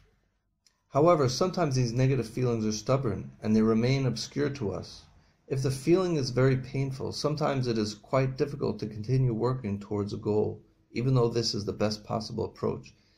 In this situation, there are a number of alternatives. One is to do something else that is positive and will free your mind from its frustration. If you like to exercise or play a sport, this is often a good way to loosen everything up physically and mentally. It generates good energy that allows for insight. Or, if not exercise, do whatever you enjoy doing that generates positive energy. Go out with friends, take a walk, do a hobby, or play music. In these times, there are a number of spiritual activities that are very effective. These times are excellent for prayer and meditation. The path, of, the path of growth depends on our ability to gain insight. Insights are achieved through cultivating a quality of receptivity. Meditation is one of the best practices to assist in gaining this quality. Instead of rejecting the pain and frustration encountered by blocks, this negative energy can be used as an invitation to go forward. In meditation, one does not reject the negative state. Instead, you open up to it, and through relaxing the body and mind, and also maintaining a calm focus, you merge with that state. When you do not reject it, you have the opportunity to enter within it, so to speak, and discover the thought or memory that generates the negativity. This then, this then releases remarkable insight. The work we are doing in the secret to achieving personal goals, in confronting the inner adversary and confronting our blocks, inevitably leads to entering into those blocks, sometimes in very challenging ways. This, however, is also a positive opportunity because it's only when we confront the block then are we able to discover the deep insight that allows us to realize the source and root of that block in our lives. We have to admit that this is a difficult process and as we reach these critical moments, sometimes it's very important to appeal to other aspects of life in order to in order to help us make those breakthroughs. One of them, as we said, is meditation. So you're encouraged to utilize any kind of meditation that you're familiar or comfortable with, and I will also provide a wonderful introduction to meditation at the end of this audiobook. The other approach that we can use is prayer. A simple form of prayer, which is also considered the most powerful by many great spiritual leaders, is to speak to God directly in your own words. Go to a private place and speak to God as if He were a friend sitting next to you. Tell Him about your life, your goals, your blocks. Ask Him for the help that you need. Practice this for however long you feel comfortable. It can be five minutes or an entire hour, but try to do it regularly. And as we know, Insight often comes when we take a break from the activity of searching. As we know this from science, many great scientists, when they're searching for an answer, they often report that those answers come after a nap or uh, freedom from the activity. And it's in those open moments that the insight occurs. So please allow for those opportunities in your own life. We'll move on now to stage four, exploring the past. Very often in, in these explorations, scenes from childhood rise in our consciousness for the reasons I have explained above, it is important to record these memories as they come to you in writing or in a tape recorder. It does not matter if they are the real memory. The essential factor is how you remember these events, for this is what shapes your life. Then go through the events and try to form them into scenes as in a drama, similar to the way you have done in the present. Mark the stages of the scenes and include a description of who was present, what was said, and the state of mind, that is, the emotional state of the people involved. Also note who was not there and why. It would be helpful to look at a couple of scenes from the past to see patterns emerge. It is also important to try to find a scene in your early childhood.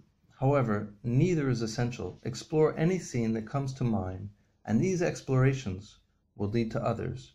You should go through this process multiple times. When you see its benefits, you will want to make it a regular part of your self-explorations. The following questions are a guide for your explorations. The ultimate goal of these explorations is to reveal the truth of your life's experience.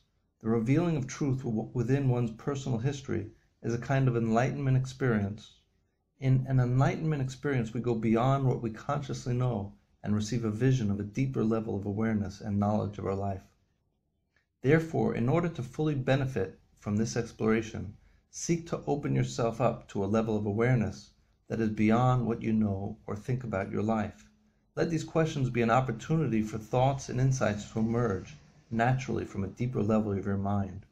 Meditate on these questions. Let them bother you. Follow your gut feelings and not just your own theories and opinions about your life.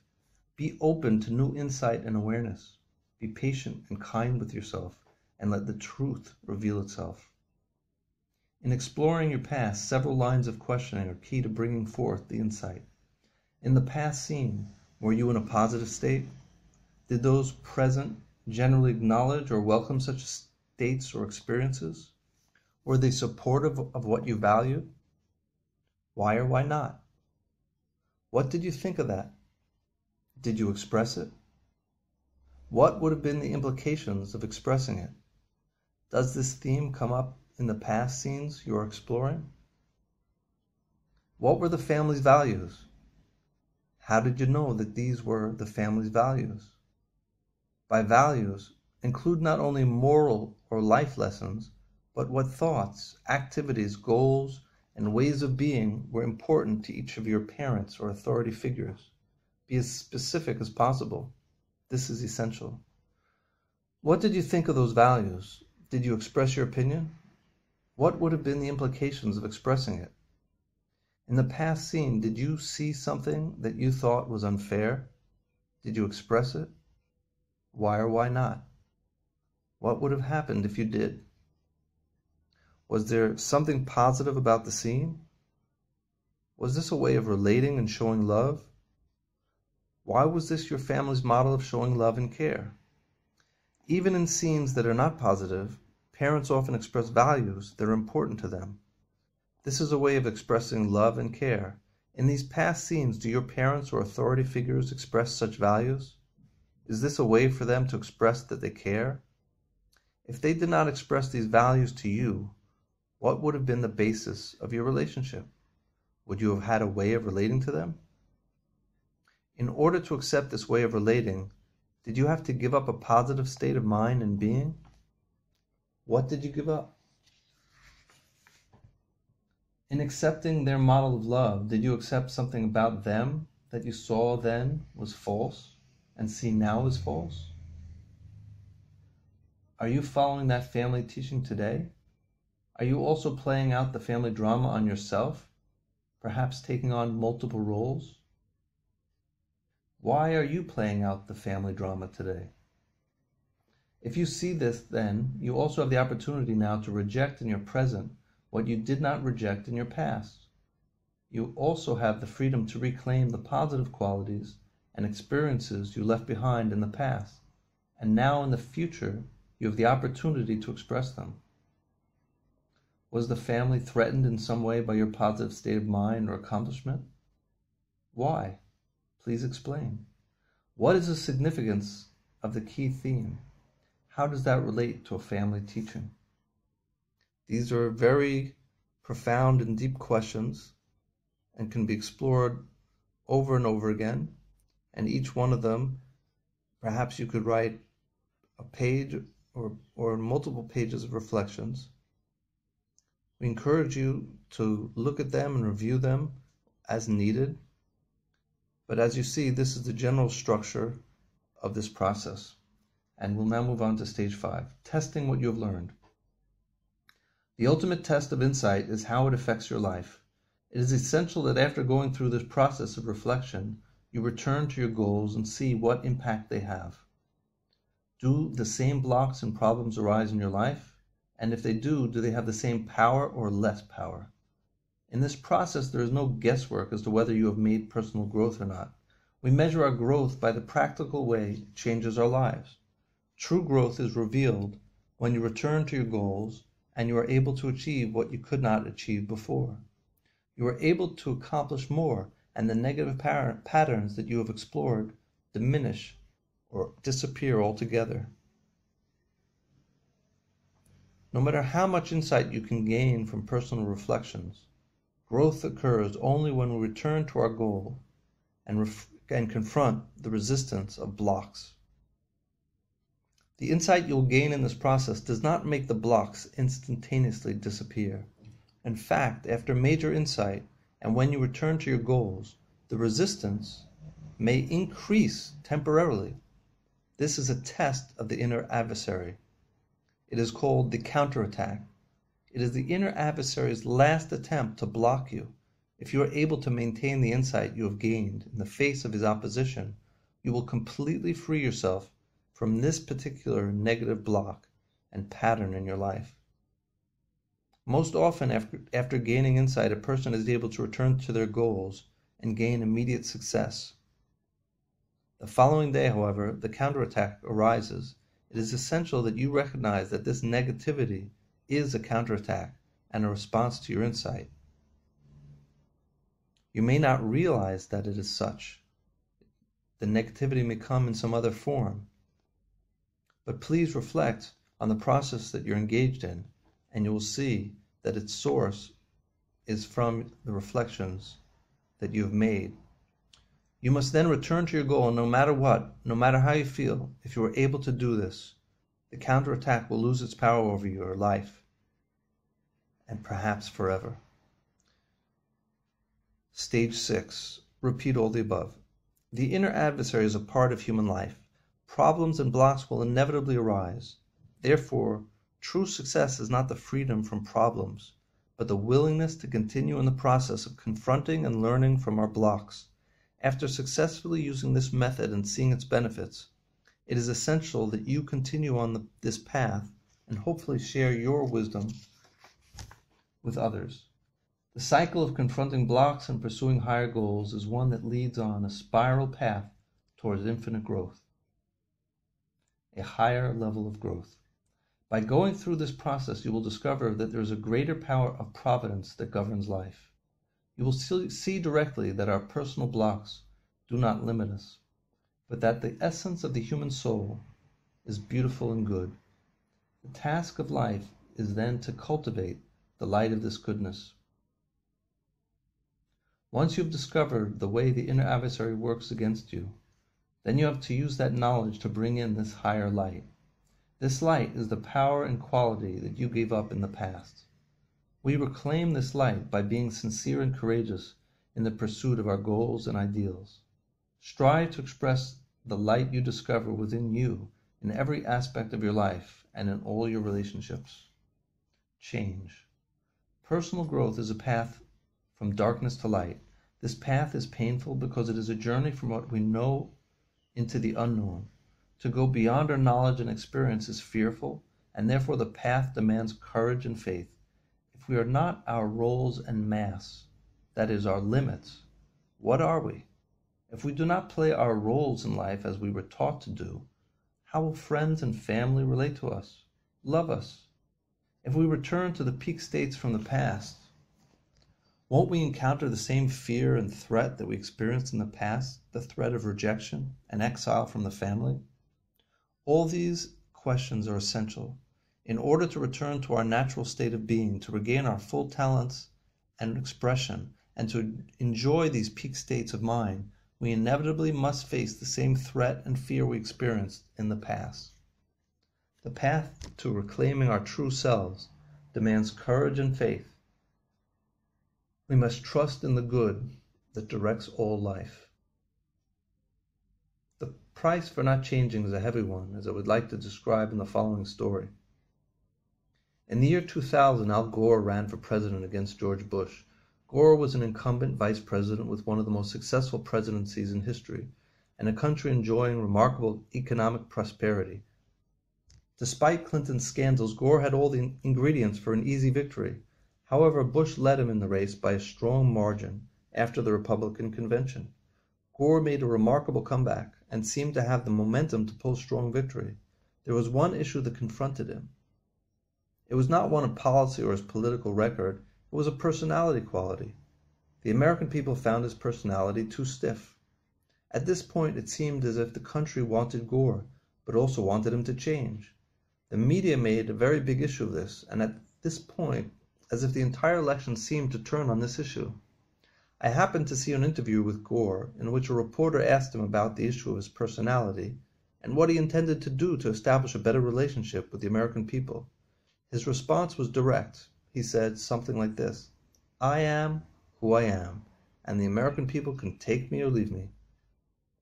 His attitude was one that expressed an unwillingness to change. In my opinion, it was this attitude that cost Gore the election. He possessed a personal limitation in the way he expressed himself, and the American people saw it. An election can be compared to a relationship. Gore was the groom, and the American people were the bride. The bride said, I like you, but you need to be a little warmer. The groom refused, and the marriage was canceled. The remarkable thing is that the same thing happened eight years earlier. George Bush Sr was also the vice president to one of the most popular presidents of all time. During his term as president, Bush presided over the Iraq War and the resurgence of America's pride in its military. But during the re-election, the United States was in a recession, and Bush was considered indifferent to the people's suffering. When questioned about this in an interview, Bush did not use the opportunity to express concern. He got angry that the people felt that way about him. Once again, I think that this is the reason that he lost the election. He was unwilling to express an emotional quality that the American people were crying out to see in their leader. Politics is controversial, and you may not agree with my reading of these events. What is most important is the principle. Life gives people the opportunity to succeed. In order to succeed, we have to have the willingness to address our limitations and blocks, and have the courage to change. The price for refusing to change is failure. Excuses. There are many excuses that we can give for not changing, but they can all be reduced to essentially one that is illustrated by the following story. It is a modern adaptation of a true story that occurred a few hundred years ago. A man named Bob once came to a great spiritual leader for some counseling on a practical problem he was having in his life. The counselor discussed the issue and explained to Bob that he needed to have more faith and to realize that all is for the good. Everything is guided by divine providence, said the spiritual leader to Bob. What he had to do was clear, but still Bob said it was too difficult. I can't believe all these terrible problems I'm facing are guided by divine providence. And the only and the only and the only answer you have for me is that I should take on these great challenges with faith, that all is for the good. I'm sorry, I can't do it. The counselors replied, You can't or you won't. Bob returned to his car, thinking about the discussion, still firm in his mind about what he had said. As he was approaching his car, a man with an old broken down car called to him and said, My friend, would you help me, please? I have a flat tire and I need some assistance. Bob looked at the old man and the disheveled man with his hands filled with grease, and he said, I'm sorry, I can't. The man by the car replied, You can't or you won't. Those words struck Bob like lightning, and he returned to his spiritual counselor to tell him he was ready to take on the challenge. The simple difference between I can't and I won't sums up the entire strategy of the inner adversary. It is the difference between ability and will. The inner adversary persuades us that we cannot, which means that we don't have the ability. The question, you can't or you won't, asks us to evaluate the truth of the statement. The question is the expression of the voice of providence. You don't have the ability. You don't have the ability? Or is it that you're, you are refusing to do what needs to be done? That is, to exercise your will. When we reflect and penetrate into the truth of life, most key issues depend ultimately on the simple choice to exercise our will to act. So when your personal blocks confront you, ask yourself, you can't or you won't, and know that you can.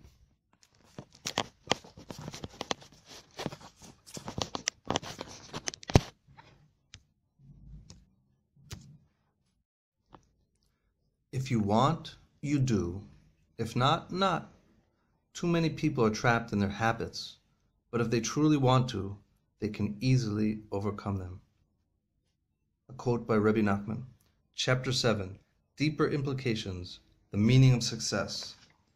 The aim of pursuing goals is to help you get beyond your limits. Our lives are defined by our limits. Our goals and dreams envision a life beyond them. They are like windows that allow us to peek out over the walls that encircle us, so that we can see beyond our borders to distant lands and places to which we can travel. Imagine a person living in a small town. If she has no vision of what is beyond, then she will never venture out of her borders. But if she hears or learns about cities and countries beyond the walls of her town, places where other interesting people, sights, and experiences exist, she will gain a desire to travel beyond what is known. If she is trapped within those walls and cannot leave, she will become frustrated and pained by the limits. If she does not think about the mysterious and wonderful places beyond, she is content. But if she maintains her vision and desire, she will be frustrated. The same is true with our goals. The experiences and people in the world beyond the town are like the successes and states of mind we can experience by pursuing and achieving goals the ideas and methods presented in this book can help people to make the leap beyond their limits, to leap beyond their towns, cities, countries, and continents, and venture to far off galaxies which they never believed they could experience. In fact, the first step beyond the walls of the known limits can be as monumental as moving from one's town to journey in a rocket ship into outer space. It is a leap into a different dimension, from the dimension of restriction into the dimension of freedom. Many people have given up on their goals and dreams. They have been persuaded and convinced that the walls to their own towns are too high and too strong, and so they live shut up within the city walls and within the comfort of the constricted habitations they have made for themselves. But in truth there is no reason to despair. The leap we are describing has been experienced by people who have suffered from the complete range of human problems, physical, psychological, and spiritual. People with dyslexia have discovered that they can read. Cancer patients have gone into remission, and mentally ill people have recovered their health. All sorts of people with self doubt and personal inhibitions, who have felt restricted in intelligence, creativity, love, happiness, sobriety, sobriety, clarity, and energy, have gone on to achieve their dreams, earning university degrees, achieving successful careers, accomplishing creative success, establishing healthy relationships. They have achieved what they and the people around them believe to be impossible. Through the practice of goal directed personal growth, people gain a realization and experience that the truth of their lives is beyond the limits of who and what they think they are. This is an experience of a genuine kind of enlightenment. It is what Plato described in his famous allegory of the cave. In this story, Plato describes prisoners who have lived their entire lives chained in a cave looking at a wall. On this wall, shadows are cast from a fire that is burning above and behind the prisoners. Since the prisoners have only seen shadows all their lives, they believe that the shadow Im- images are reality. Plato then describes the path of releasing one of the prisoners from his seat in the cave. At first, the cave dweller is resistant and does not want to leave his place. He also does not want to see the light because it hurts his eyes. When he is dragged out of the cave, it is even more painful. The process of becoming adjusted to the light is a slow one that comes in stages, but eventually he comes to see the light of the truth of day. This allegory is true to the path we take in goal directed personal growth. Through these reflections, we are able to discover that in our past we consciously accepted false beliefs, shadows, as true. Consequently, the acceptance of these false beliefs limited the way we function and exist in the world. On the path to discovering this, there is resistance and pain. But once our mind's eye becomes adjusted to the light of truth, we see our former state to be like an imprisoned cave dweller among the shadows. One of the most remarkable aspects of this path to personal enlightenment is the discovery of our freedom. Unlike the prisoners, we discover that we consciously accepted our chains, that is, our, force, our false beliefs. This is not to say that there was no coercion. In our state as children, we choose from very limited options. If we, reject what we saw as false, it would probably have been impossible to survive within our families. Therefore, it is nearly inevitable that we do choose our false roles and beliefs, our part in the family drama. The key point, however, is that there is choice. Although the power to choose to reject the family's belief structure did not exist for all practical purposes, this is not a reasonable option. The significance of the power to choose, however, is vital for our present. Although it would be practically impossible to act differently in the past, we have not only the power to choose, but the freedom and opportunity to reject what is false in our present life. One of the most beautiful aspects of this kind of work is the discovery of our genuine freedom when we experience our lives bound by our negative and self defeating patterns, blocked from our goals, we feel like prisoners to forces we don't know or understand. The recollection of the actual moments when we consciously took on these false beliefs and negative patterns provides us a view into the depths of our very psyches, a behind the scenes view where we can discover that the power behind the curtain is really us. And yet we live in such a way that our own power and freedom is actually hidden from our everyday awareness. Once this is discovered, everything changes. We discover that we are creating and setting up our own blocks in life. This realization is astounding and mystifying to experience. Its implication is liberating because it means we are generally free to change. Nothing is stopping us. The power of freedom is what distinguishes humans from all their beings. It also separates us from the limits of the natural world, because by definition there is no freedom in the physical world. Animals and plants do not choose the lives and functioning of the, of the mineral, plant, and animal kingdoms are all determined by natural law. Animals do not deliberate, they act according to instinct. One of the great questions of Western philosophy is do human beings have freedom? Or is our life determined by the laws of the natural world? This is a question because in a realm that is governed by law such as nature, there is no choice. Physical objects do not have a choice in how they move through space. Their motions are governed by the laws of physics. If human being if human beings are just physical creations, creatures in a physical world, then the philosopher asks, isn't he determined by physical laws as well? The answer to this question cannot be reached through looking at life from outside of our own experience. We can discover our freedom when we see that we can break out beyond the limits of the forces that bind us to restricting patterns. When we discover our freedom to break out beyond our limits, we actually discover our power in the universe as co creators of life.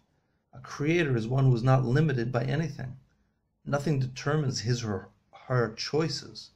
That is pure creativity. Human beings have a share in this pure power of creativity. This is because human life is not limited by the physical. The scientific models we have for understanding the mind and human life, however, are all based on the laws of the physical world. The physical world is by definition finite. It is a world of limits. Psychology is a medical science, and as such, it is based on the principles of that science which are physical. The human soul and our mind, despite what some scientific authorities wish to tell us, are not physical. Therefore, human life cannot be fully understood by a physical science. Because these sciences are based on the axioms of physical science, they cannot ascend to an appreciation of the infinite freedom, intelligence, justice, and power for healing that human life possesses. The remarkable growth beyond normal limits that is experienced by those who have gone through the process of goal directed personal growth cannot be understood or even accepted by the physical sciences because it transcends their limits Human beings are connected to the infinite. Infinite goodness and intelligence guides the universe and every detail of our lives. Our souls are the link between the infinite source of life and the finite physical dimension that science studies. Because we live in a physical world, the infinite power of goodness and intelligence from above manifests itself here below in a way that is constricted and limited. In the natural world we do not see intelligence and goodness, but it is not a pure and perfect expression of those qualities. I think I made a mistake. Let me repeat that. In the natural world, we do see intelligence and goodness, but it is not a pure and perfect expression of these qualities. It is mixed with what appears chaotic and sometimes bad. The light of truth and goodness that comes from above is similar to pure physical light. In itself, pure light is not seen because it is no color.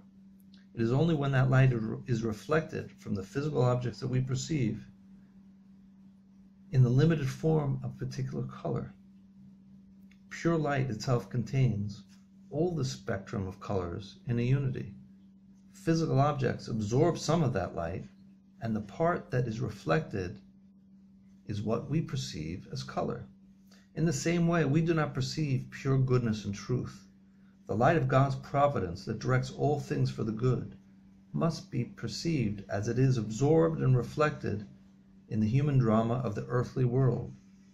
Our task is to try to see that even in these dramas and amidst all their colors, that is, the particular emotional ups and downs we experience, there exists an expression of the pure light of truth and goodness. We do this through the process of reflecting upon, meditating, and analyzing the events of our lives. Through the process of reflection, we can look at our life and discover that there truly is a source of goodness and intelligence that guides our lives.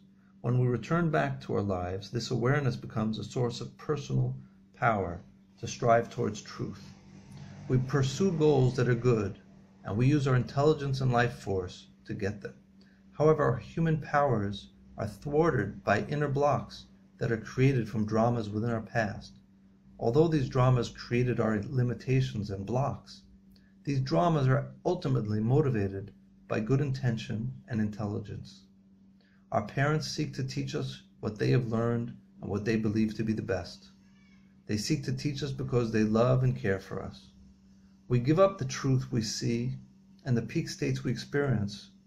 That is, we open ourselves up and accept these false teachings because we want to connect with the love and care of our parents. We also realize it is necessary for our survival in the family.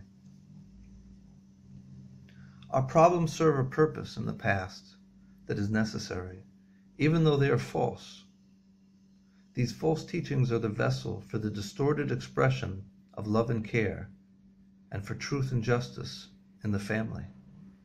But life is just. These problems of childhood are like the shells of seeds that guard us during our time of nurture in the dark underground. As we reach the beginnings of adulthood, we begin to realize that these patterns are limits that are not useful, but instead detrimental.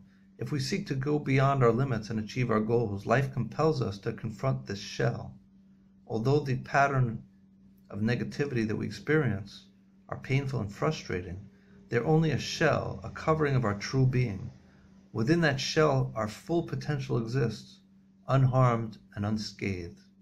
The challenge of life is to raise the courage to discard the shell so that our lives can be a more pure and healthy vessel for the expression of the truth of our lives.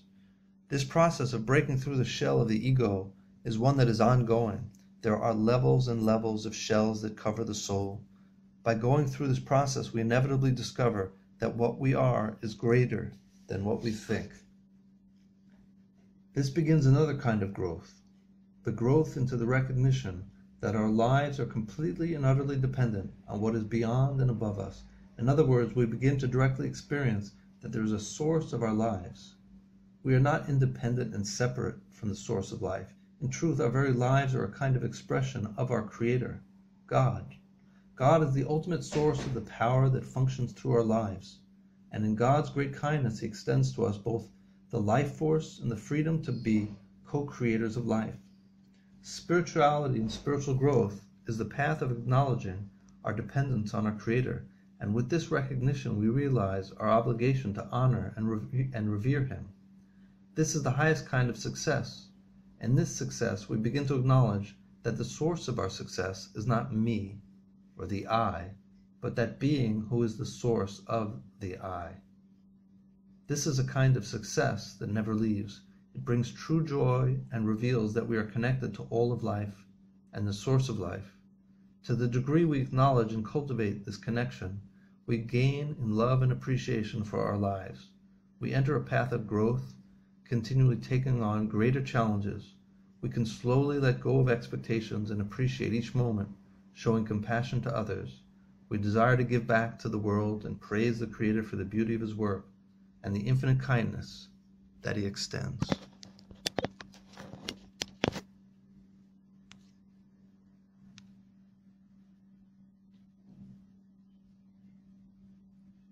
Thank you for sharing this reading of the first part of The Secret to Achieving Personal Goals.